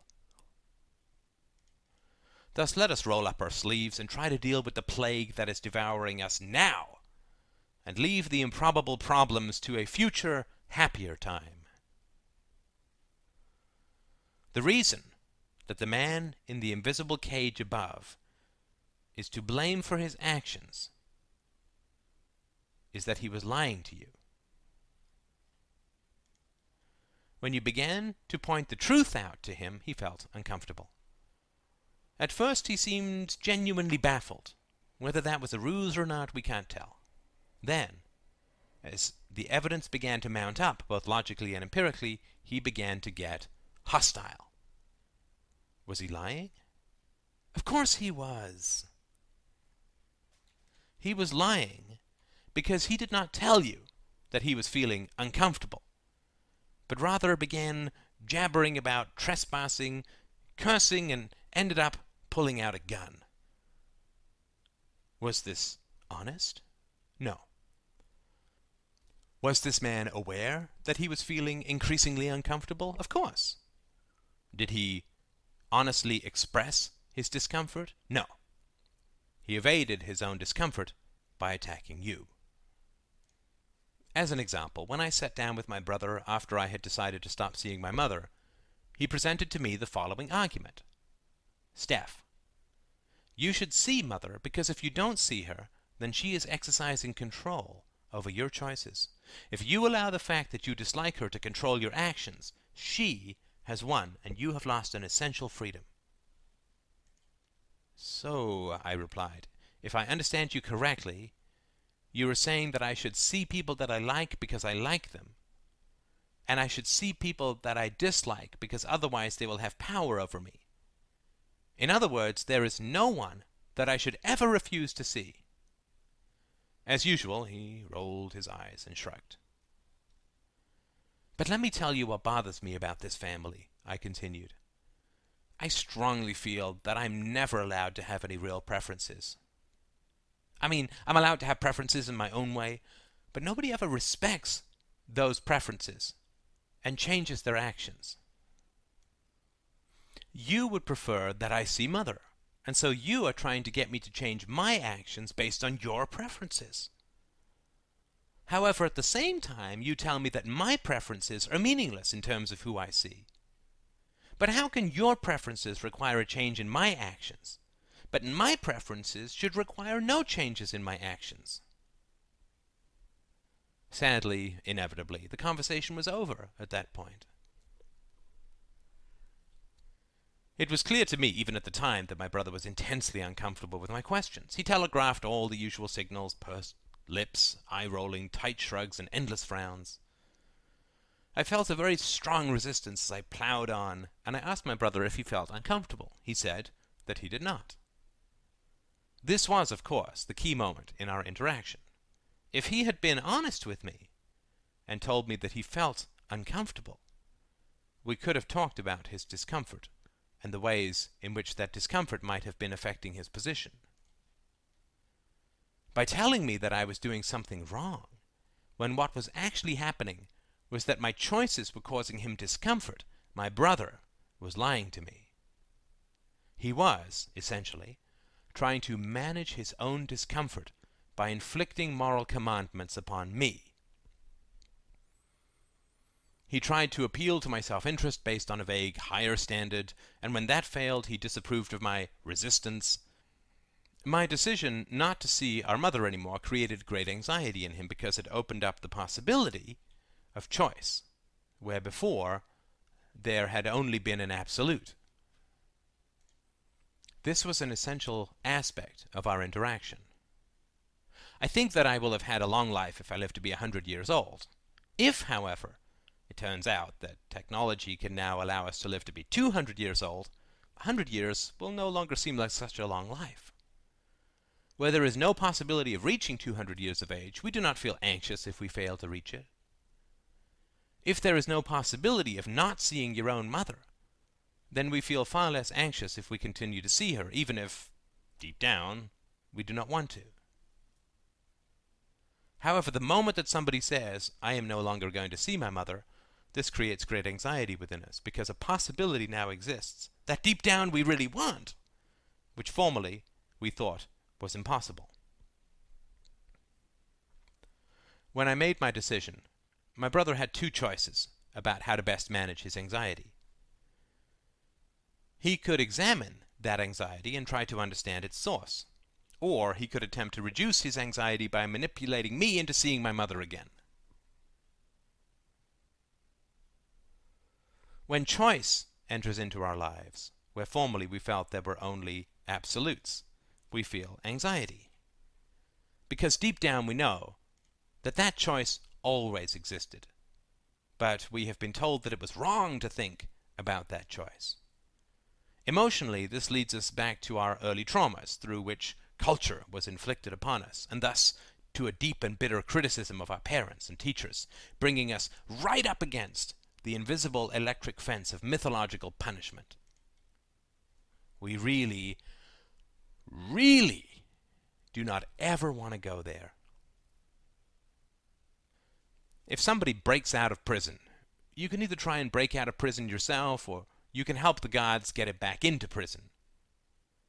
The tipping point of the decision is what you decide to do with your own anxiety. If you decide to deal with your anxiety as an internal state related to your core beliefs, your history, your false allegiances to false virtues, then you will be catapulted through the entire cavalcade of growth that is the inevitable result of deciding to stop using others to manage your emotions. It is a sad reality that for most people, their prison doesn't feel like a prison until somebody tries to break out of it.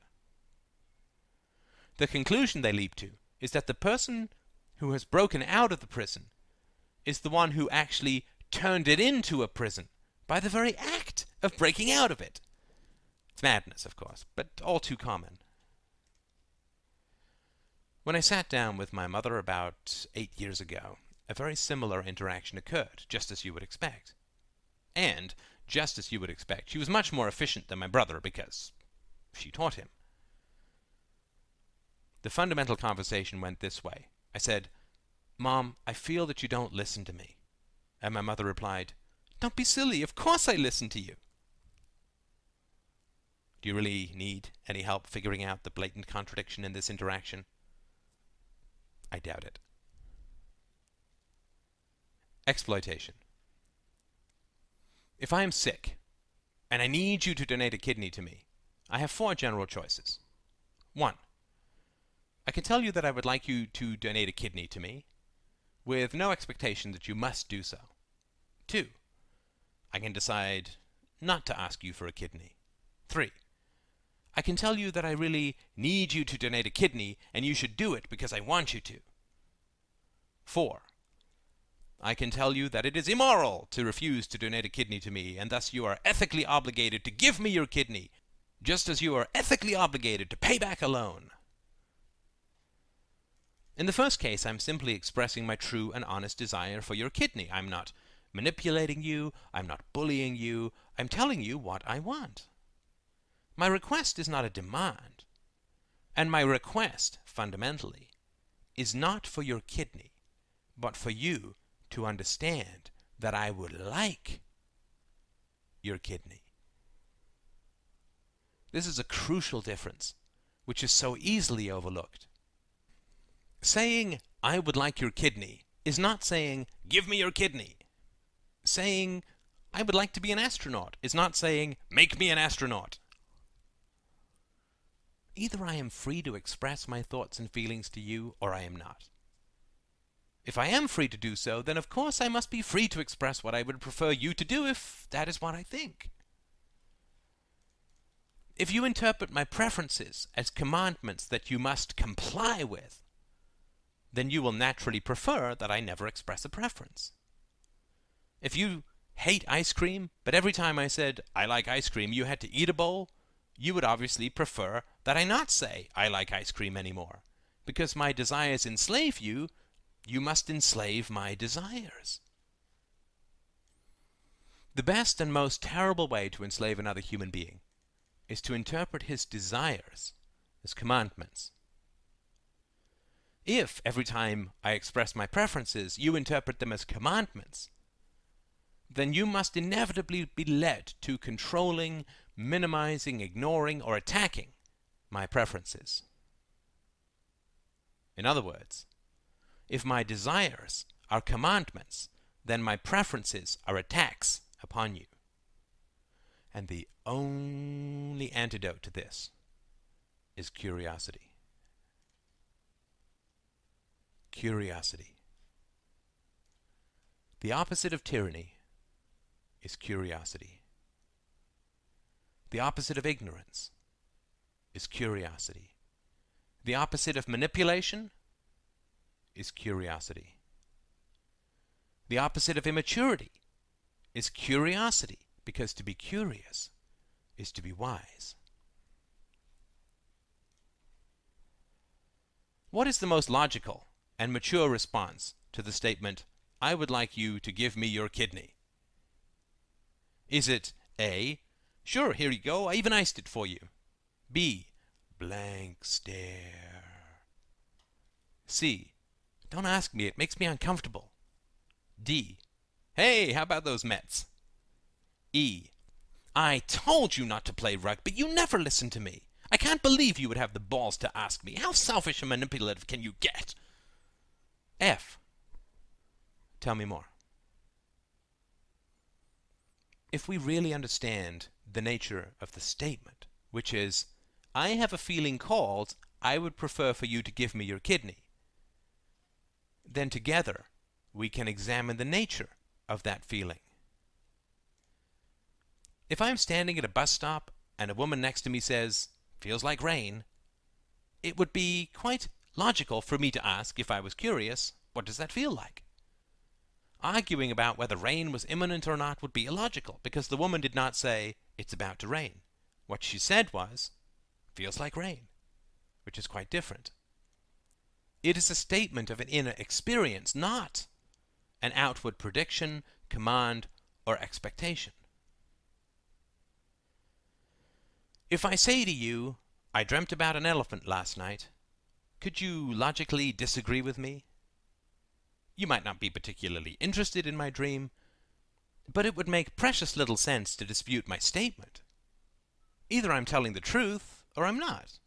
If I'm telling the truth, there's nothing to argue about.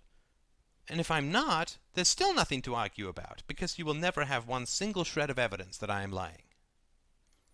Thus, when I say to you, I would like you to give me your kidney. It's the first three words that are important, I would like. Not the last four, give me your kidney. But everyone focuses on the last four, considers them a bullying demand, and thus must spend the rest of their mortal existence managing and controlling the first three I would like. Statements of preference are just statements of inner experience. And if we care about the person who is expressing them, we will be curious about her inner experience. Thus, to extrapolate to something slightly more generic than kidneys, if you are doing something that bothers me, I have four general choices. One, I can tell you that I am bothered by what you're doing with no expectation that you must change your behavior. Two, I can leave the situation. Three, I can tell you that what you're doing bothers me, and that you should stop it because it bothers me. 4. I can tell you that what you're doing is immoral, and you should stop it because it's wrong. of course, if people in general were mature and wise, they would mostly choose what was behind door number one. Occasionally, they would leave through door number two for a brief period if they were upset, but they would never open doors three and four. However, the world is neither wise nor mature, and so children quickly learn that when adults are upset or anxious, it is the children's behavior that must always change. If my mother is anxious about me dating, the, quote, solution is for me not to date. If my father will be embarrassed by my absence from church, I must go to church. If my mother will feel embarrassed if I do not kiss my smelly old grandmother, it's pucker time. If my mother will feel mortified if I snatch a toy from another child, the solution for me is to, quote, play nicely. Of course, I really should not snatch toys. The problem is that my mother is not curious why I do so, but merely controls the symptoms instead of working to understand the cause. Attack. When I was 14 or so, I took a summer school course, desperate to get out of the mental gulag of public school as quickly as humanly possible. I had a brittle and belligerent male teacher who demanded that we show up on the dot at 8:30 a.m., but then would have us sit and read a textbook for the next 30 to 40 minutes of the class. He also showed really boring documentaries, spoke in a monotone, and was completely obsessed with JFK assassination conspiracy theories. Occasionally I would get very sleepy and I would put my head down on my desk for a few minutes. I never fell asleep, but it certainly could have looked that way. After a couple of weeks of classes, I got up to do a presentation. Just before I began, this teacher held up his hand and ordered everyone to put their heads down on their desk. All the other children were pretty confused, as you can imagine, as was I. After a few minutes of bullying and ordering, all the children in the room put their heads down on their desks. My face was very pale, and I was alarmed, to say the least. When everyone's head was down, the teacher turned and literally screamed at me, Do you see how it feels? Do you see how it feels when you're trying to teach people something and they put their heads down on their desks? Do you see how it feels? That's rude! Don't do that! His veins were literally bulging out of his neck. And then, of course, he demanded that I deliver my presentation. What was going on here? The amazing thing about people who abuse children is that they really have no idea how the children actually see them. I knew that he had all the power, but it really was a very sad spectacle, and I got a very strong impression of a futile, self-loathing, and pathetic life. Perhaps they imagine that bullying children makes them look strong, but the degree of contempt that I felt and feel towards those who bully the helpless is almost beyond words, and I do not think that I am alone in that. When we think of the radioactive contempt that teenagers often have towards their parents and other authority figures, I think it's fairly easy to see that bullying children does not generate respect, any more than beating your wife generates love. Let's call this teacher Bob, since I have no idea what his name is after all these years. Clearly, Bob did not feel like a very good teacher, because a good teacher would look at an exhausted student with curiosity. I could be tired because I cannot sleep, or have problems at home, or have a hormonal imbalance, or some other reason that has precious little to do with his teaching ability. Or I could be tired because he is a boring teacher. If Bob shows no curiosity as to why I am tired, then he will never know why. If I am sick or stressed, and I was working three jobs at this point in my childhood, he might be able to help me in some way, or at least he will have established that it is not because he is a boring teacher. If he finds out that I am tired because he is a boring teacher, then obviously that can be painful. But I have absolutely no doubt that Bob would prefer to be an exciting teacher than a boring one. If he had invested the time to try and figure out, with me, why I was tired, then he might have been able to learn how to become a more exciting teacher, which would have been in line with his own values, and so made him happier. The truth of the matter, of course, as we have seen above, is that, deep down, Bob was absolutely convinced that he was a terrible teacher. When I put my head down on my desk, it confirmed his worst fears, which he violently rejected. When we understand the power of mythology, it is clear how little Bob understood about what I was doing and what I was communicating. When I put my head down on my desk, I was not saying, Bob, you are a terrible teacher. I was not saying, I am putting my head down on my desk to defy your authority. I was not saying, I am putting my head down on my desk because I am a rude and selfish individual who cares nothing for anyone else's feelings. When I put my head down on my desk, I was only saying, I am tired. Everything else was just mythology, paranoid, and vicious fairy tales. Everything else was Bob's invention, and he invented everything else in order to strenuously avoid being curious. Why? Why was he so terrified of curiosity? It's simple. The reason that we are not curious is that we already know the answers, and we do not like them. Wisdom and pain. Pain is our body's way of telling us what we need to deal with, of helping us to prioritize our actions relative to health. Our body does not report on organs that are functioning well, but the moment that a tooth gets infected, oh, we know all about it. In other words, pain tells us what we need to do. If our tooth hurts, we need to go to a dentist. Pain informs us of the problems we need to solve.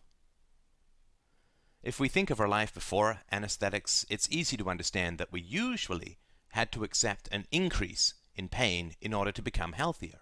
An infected tooth had to be pulled out. Nowadays, we sometimes have to go through the pain of chemotherapy in order to treat cancer. This is the challenge of pain. We do not like it, but often have to accept a temporary increase of it in order to become healthier. If I break my leg, it really hurts. That's why I stop moving it. After my leg has healed, to regain full strength and mobility, I have to endure the pain of physiotherapy. Injuries can also make us stronger. If I survive a heart attack, I may choose to lose weight, eat better, exercise, and so on. I may, in fact, be healthier than if I had never had a heart attack. Similarly, if I break my leg, my leg can end up stronger as a result of the exercise required to restore strength and mobility.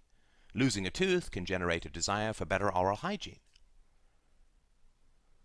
There are several key differences between physical pain and psychological pain, however, which you really need to understand if you want to become healthier and happier in the long run. The first and most important difference is that psychological pain can be transferred from one person to another.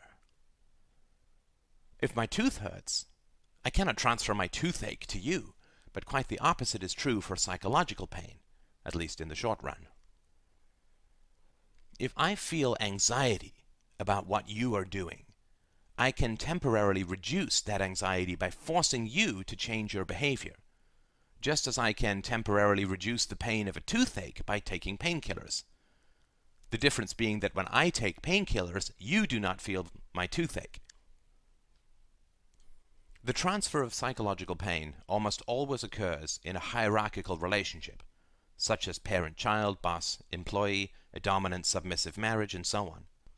Helplessness and dependence, real for children, fantasized for adults, are required to be on the receiving end of this kind of parasitical emotional exploitation.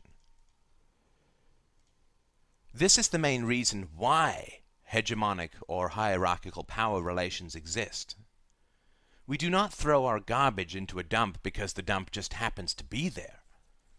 The dump only exists because we need to throw our garbage somewhere. In the same way, we do not exploit people because they're helpless. We make them helpless in order to exploit them. Bob did not end up abusing children because he had power as a teacher. He sought power as a teacher in order to abuse children. Power does not create corruption. The desire to corrupt creates power. When we are in an agony of psychological distress, it is utterly counterintuitive to want to feel more of that agony. Just as it is counterintuitive to want to pull out a tooth that already hurts or start chemotherapy when you do not feel sick. Yet that is precisely what is required if we wish to become healthy. If I choose not to go to physiotherapy after my broken leg heals, I am the only one who has to live with the resulting weakness and lack of mobility. If I choose to manage my anxiety by attacking the helpless, however, I gain temporary relief from my discomfort only by inflicting my distress on others. And this is how the entire system reproduces itself. In essence, by attempting to humiliate me so horrendously, Bob was attempting to infect me with the virus of abuse. Because he was not mature or wise enough to take ownership for his own emotions, he inevitably believed that I was the source of his anxiety. Since I was, quote, inflicting anxiety upon him, I was acting in a, quote, hostile manner, just as if I were injecting him with a poison. And thus his attack on me was a twisted form of self-defense. Furthermore, by inflicting his humiliation on me, Bob was demanding that I have empathy for his feelings. But if empathy is a value, why would he not have empathy for my exhaustion?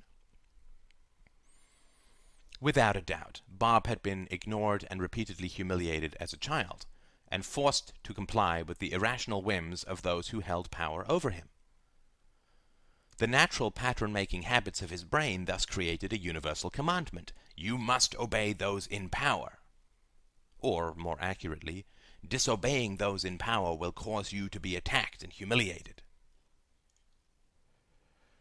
There are three major components to the psychological agony that results from the establishment of this principle. The first is the shame and embarrassment that results from being humiliated. The second is the horror of being trapped in the power of those who act abusively. The third is the rage that results from being told that such abuse is actually virtuous. This is for your own good. When we are abused as children, we are put into a terrible predicament because we are utterly dependent on our abusers. A form of the Stockholm Syndrome sets in, and we force ourselves to respect those who abuse us. This is an entirely sensible survival strategy because the horror of knowing that we will be under the abusive control of our parents for years to come would be too great for us to bear. Also, since we are punished for not showing respect, it is easier just to respect them rather than continually have to pretend to, which they will doubtless see through and punish. Furthermore, since abuse is always cloaked with self-righteous moral justifications, it is morally wrong to disobey me, we experience an existential horror.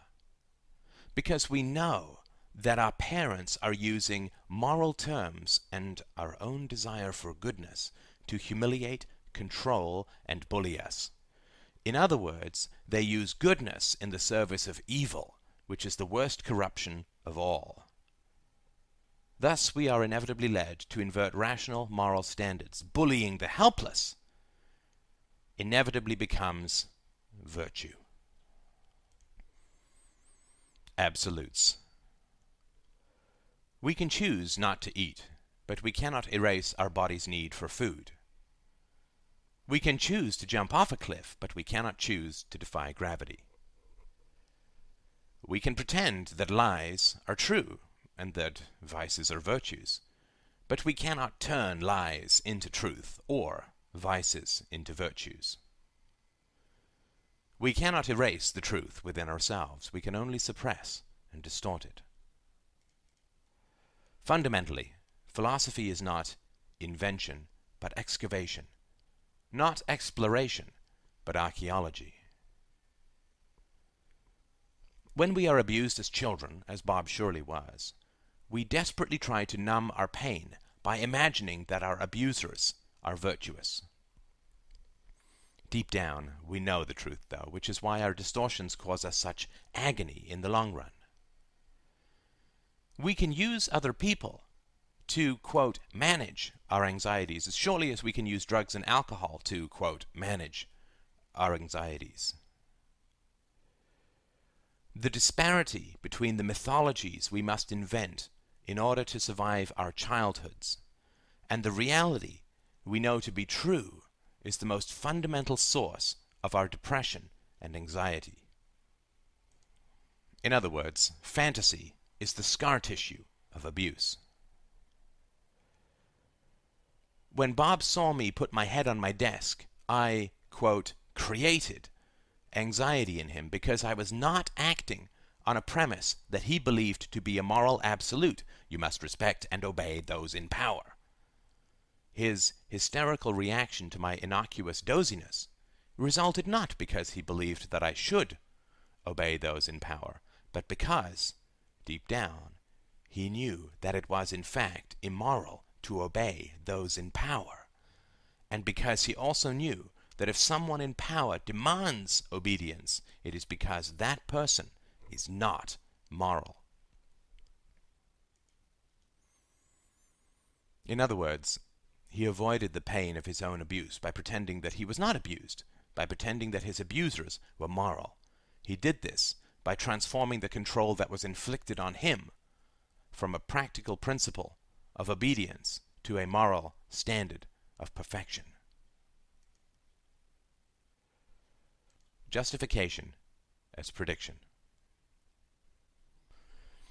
Imagine that I live in England, and for decades I have been ranting about immigrants who do not take the time to learn English. How can you come and live in a place and never take the trouble to learn the language? It's disrespectful, it's rude, and it's cloistered. Anyone who wishes to be a decent citizen must take the trouble to learn the language. I publish countless articles on this topic, I make public speeches on it, and end friendships with those who disagree with me. In other words, I am really committed to this idea. Then imagine that I move to Sweden. I live in Sweden for a year, and then I come back to England for a visit. So, how's Sweden, you ask? Great, I reply. And how's your Swedish coming along? Oh, I haven't learned any Swedish, why would I? Would that surprise you? Would you feel that I was being rather hypocritical? Would you feel a strong desire to cross examine me more closely about my strong and openly professed belief that the inhabitants of a country are morally obligated to learn the language? If I explain the inconsistency between my beliefs and my actions by saying that eh, it turns out that it's very hard to learn a new language and that it is not really necessary if you live within the confines of an expatriate cultural group, would you feel compelled to point out that this is the exact opposite of the position that I have publicly and vociferously taken for many years? I imagine that you would suggest it would be appropriate for me to write a follow-up article repudiating my earlier views based on my new understanding. Would my blanket refusal to do any such thing affect your opinion of me? This is the cycle of abuse. When we, as children, justify the abuses of our parents in order to survive the situation, we are setting up moral absolutes about the right and proper use of power. It is moral for those who have power to hurt those who do not have power in order to protect them, guide them, or, quote, toughen them up. This is how we justify and survive the harm done to us. This is why we so often repeat and re-inflict the harm done to us. If I were a publicly xenophobic Brit who moved to Sweden, I would be perfectly aware of all the criticisms I would face if I did not try to learn Swedish.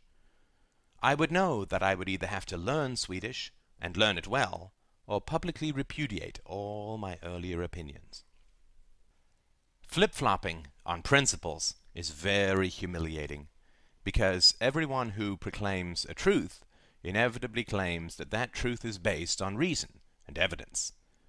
No one puts forward a truth claiming it is based on mere unsubstantiated opinion because then, of course, it would not be the truth.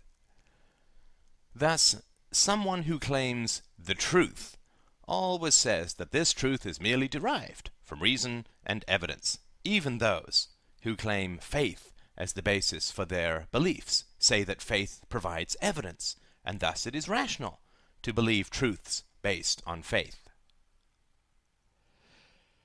If someone who claims a truth later has to completely reverse his position, he can only credibly do so if new evidence arises. For instance, if it turns out that the universe is in fact powered by invisible pixies on treadmills, I will have to revise some of my opinions on reality, but only because new evidence has come to light. If, however, no new evidence has come to light, then clearly evidence cannot be believably cited as the justification for one's earlier position. What becomes clear is that one's earlier position was based on prejudice, but that reason and evidence were cited as justifications. This is an essential point, and very similar to the ethical and cultural hypocrisies discussed above. When I cite reason and evidence as the justifications for my beliefs, I am affirming the power of reason and evidence. In other words, I fully accept and respect the primacy of reason and evidence in determining the truth value of beliefs. If it turns out that I had no real reason or evidence for my beliefs, then I am engaged in the same kind of terrible hypocrisy perpetrated by those who use moral arguments for immoral ends.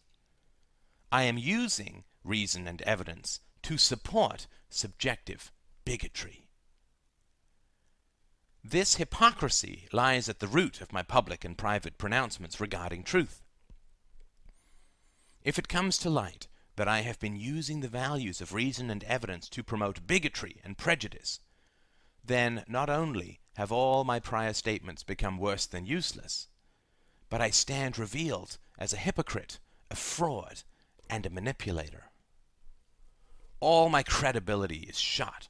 All my prior statements become examples not of empirical truth, but of rank hypocrisy. Not good. This is exactly what happens when we maintain our childhood justifications for our parents' abuses into adulthood. If we believe that the abuse of power is moral, we will inevitably be led to abuse power. If I go to Sweden but do not learn Swedish, then I will have to lie and prevaricate, or pretend that I have learned Swedish, or am about to learn Swedish, and so on. Or I will have to enter the magical land of this is just somehow different, which will inevitably require that I substitute aggression for consistency when questioned. We replicate what we praise. Our justifications guide our lives as surely as train tracks guide a train. The lies we believe today are the lives we will live tomorrow. The teacher who humiliated me did so because he believed that that's what those in power must do. Almost everyone, when faced with the choice of hypocrisy or abuse, chooses abuse. Sadism as salvation. If I go to a doctor because I have made myself sick by smoking, and the doctor prescribes a treatment that causes me pain, my doctor is not cruel but helpful. The doctor does not seek me out and hurt me because he is sadistic, but rather I must seek out the doctor for a cure because I have hurt myself by smoking. I should not resent the doctor for the pain of his cure, but rather thank him for his ability to help me. The doctor is not responsible for my pain. I am. A child born in a prison will almost inevitably say, I don't obey the prison guards because they are sadists with truncheons, but rather because the prison guards are morally virtuous and trying to help me. There is a terrible cost to this belief, as there is to all fantasies. If my prison guards hit me with truncheons, I must obey them. If I accept that I obey them because they hit me with truncheons, I feel terribly humiliated and helpless, but retain an accurate assessment of the situation. On the other hand, I can choose to reduce my humiliation by imagining, not that I comply because I am hit, but rather that I am hit because I disobey. It is not my noncompliance with the God's whims that gets me beaten, but rather my noncompliance with moral virtues. The gods do not beat me because they are sadistic. I am beaten because I am evil. The gods are not responsible for beating me. I am responsible for being beaten. The gods are not trying to humiliate me, they are trying to help me, to make me a better person, just as the doctor is trying to help me by making me healthy again. Do you see how the agony of moral corruption can be transferred from one person to another? If my parents beat me, not because they are bad, but rather because I am bad, I can retain some sense of honor and control within an abusive and hopeless situation. If, however, I retain this fantasy after I become an adult, after I gain power over others, then my survival strategy will become exploitive destruction. The equation of abuse with virtue that formerly allowed me to survive now corrupts me. I have become what I originally feared and despised. Thus, when my actions conflicted with Bob's belief that it was virtuous to obey those in power, I created great anxiety in him and triggered his defenses by triggering all of his memories of being abused. I was creating a choice where he believed there was only an absolute. I was also acting in a, quote, immoral manner, and he had been taught as a child that it is moral to attack someone who is acting in an immoral manner thus to defend his fantasies about his parents' virtue, to ward off the growing anxiety and horror he felt about the lies he had to invent to survive his own abuse, to crush the freedom that I possessed and which he did not, to legitimize a false moral absolute, and, fundamentally, to both recreate his parents' abuse and to be the bad person his parents claimed him to be, all in order to justify their abuse he attacked me. If I had never understood this, I would very likely have become Bob and passed along my own abuse. If I had taken Bob's abuse personally, I would have absorbed an agony that I would have inevitably inflicted on others, most likely children. But Bob's abuse had no more to do with me than my sleepiness had to do with Bob. He lashed out at me because he knew the truth deep down, but could not accept it. He tried to humiliate me because, in his own mind, one of us had to be humiliated, and I started it. He did evil in order to protect the, quote, virtue of evil. And it is time for us, all of us around the world, to stop. How to change. I was originally planning for this book to be longer, but as I reached this point in the text, I began to feel a growing anxiety, which was hard for me to understand. I thought it might be because I had started this book without a plan and was losing my way. As my wife and I reread the book, though, it was clear that it flowed quite well. Last night we went for a walk and discussed the content and form of this book. In just over 16 months, I have produced over 800 podcasts, so it's not as if I am anywhere close to running out of things to talk about. However, when you have been immersed in a discipline for a quarter century, it can be hard to remember what it's like starting out. I am now quite sure that my anxiety stems from a concern that a longer book would be too hard to digest. When you want to eat a dessert, five pies are not better than one pie. We will surely speak again, but I think that we have spoken enough for now.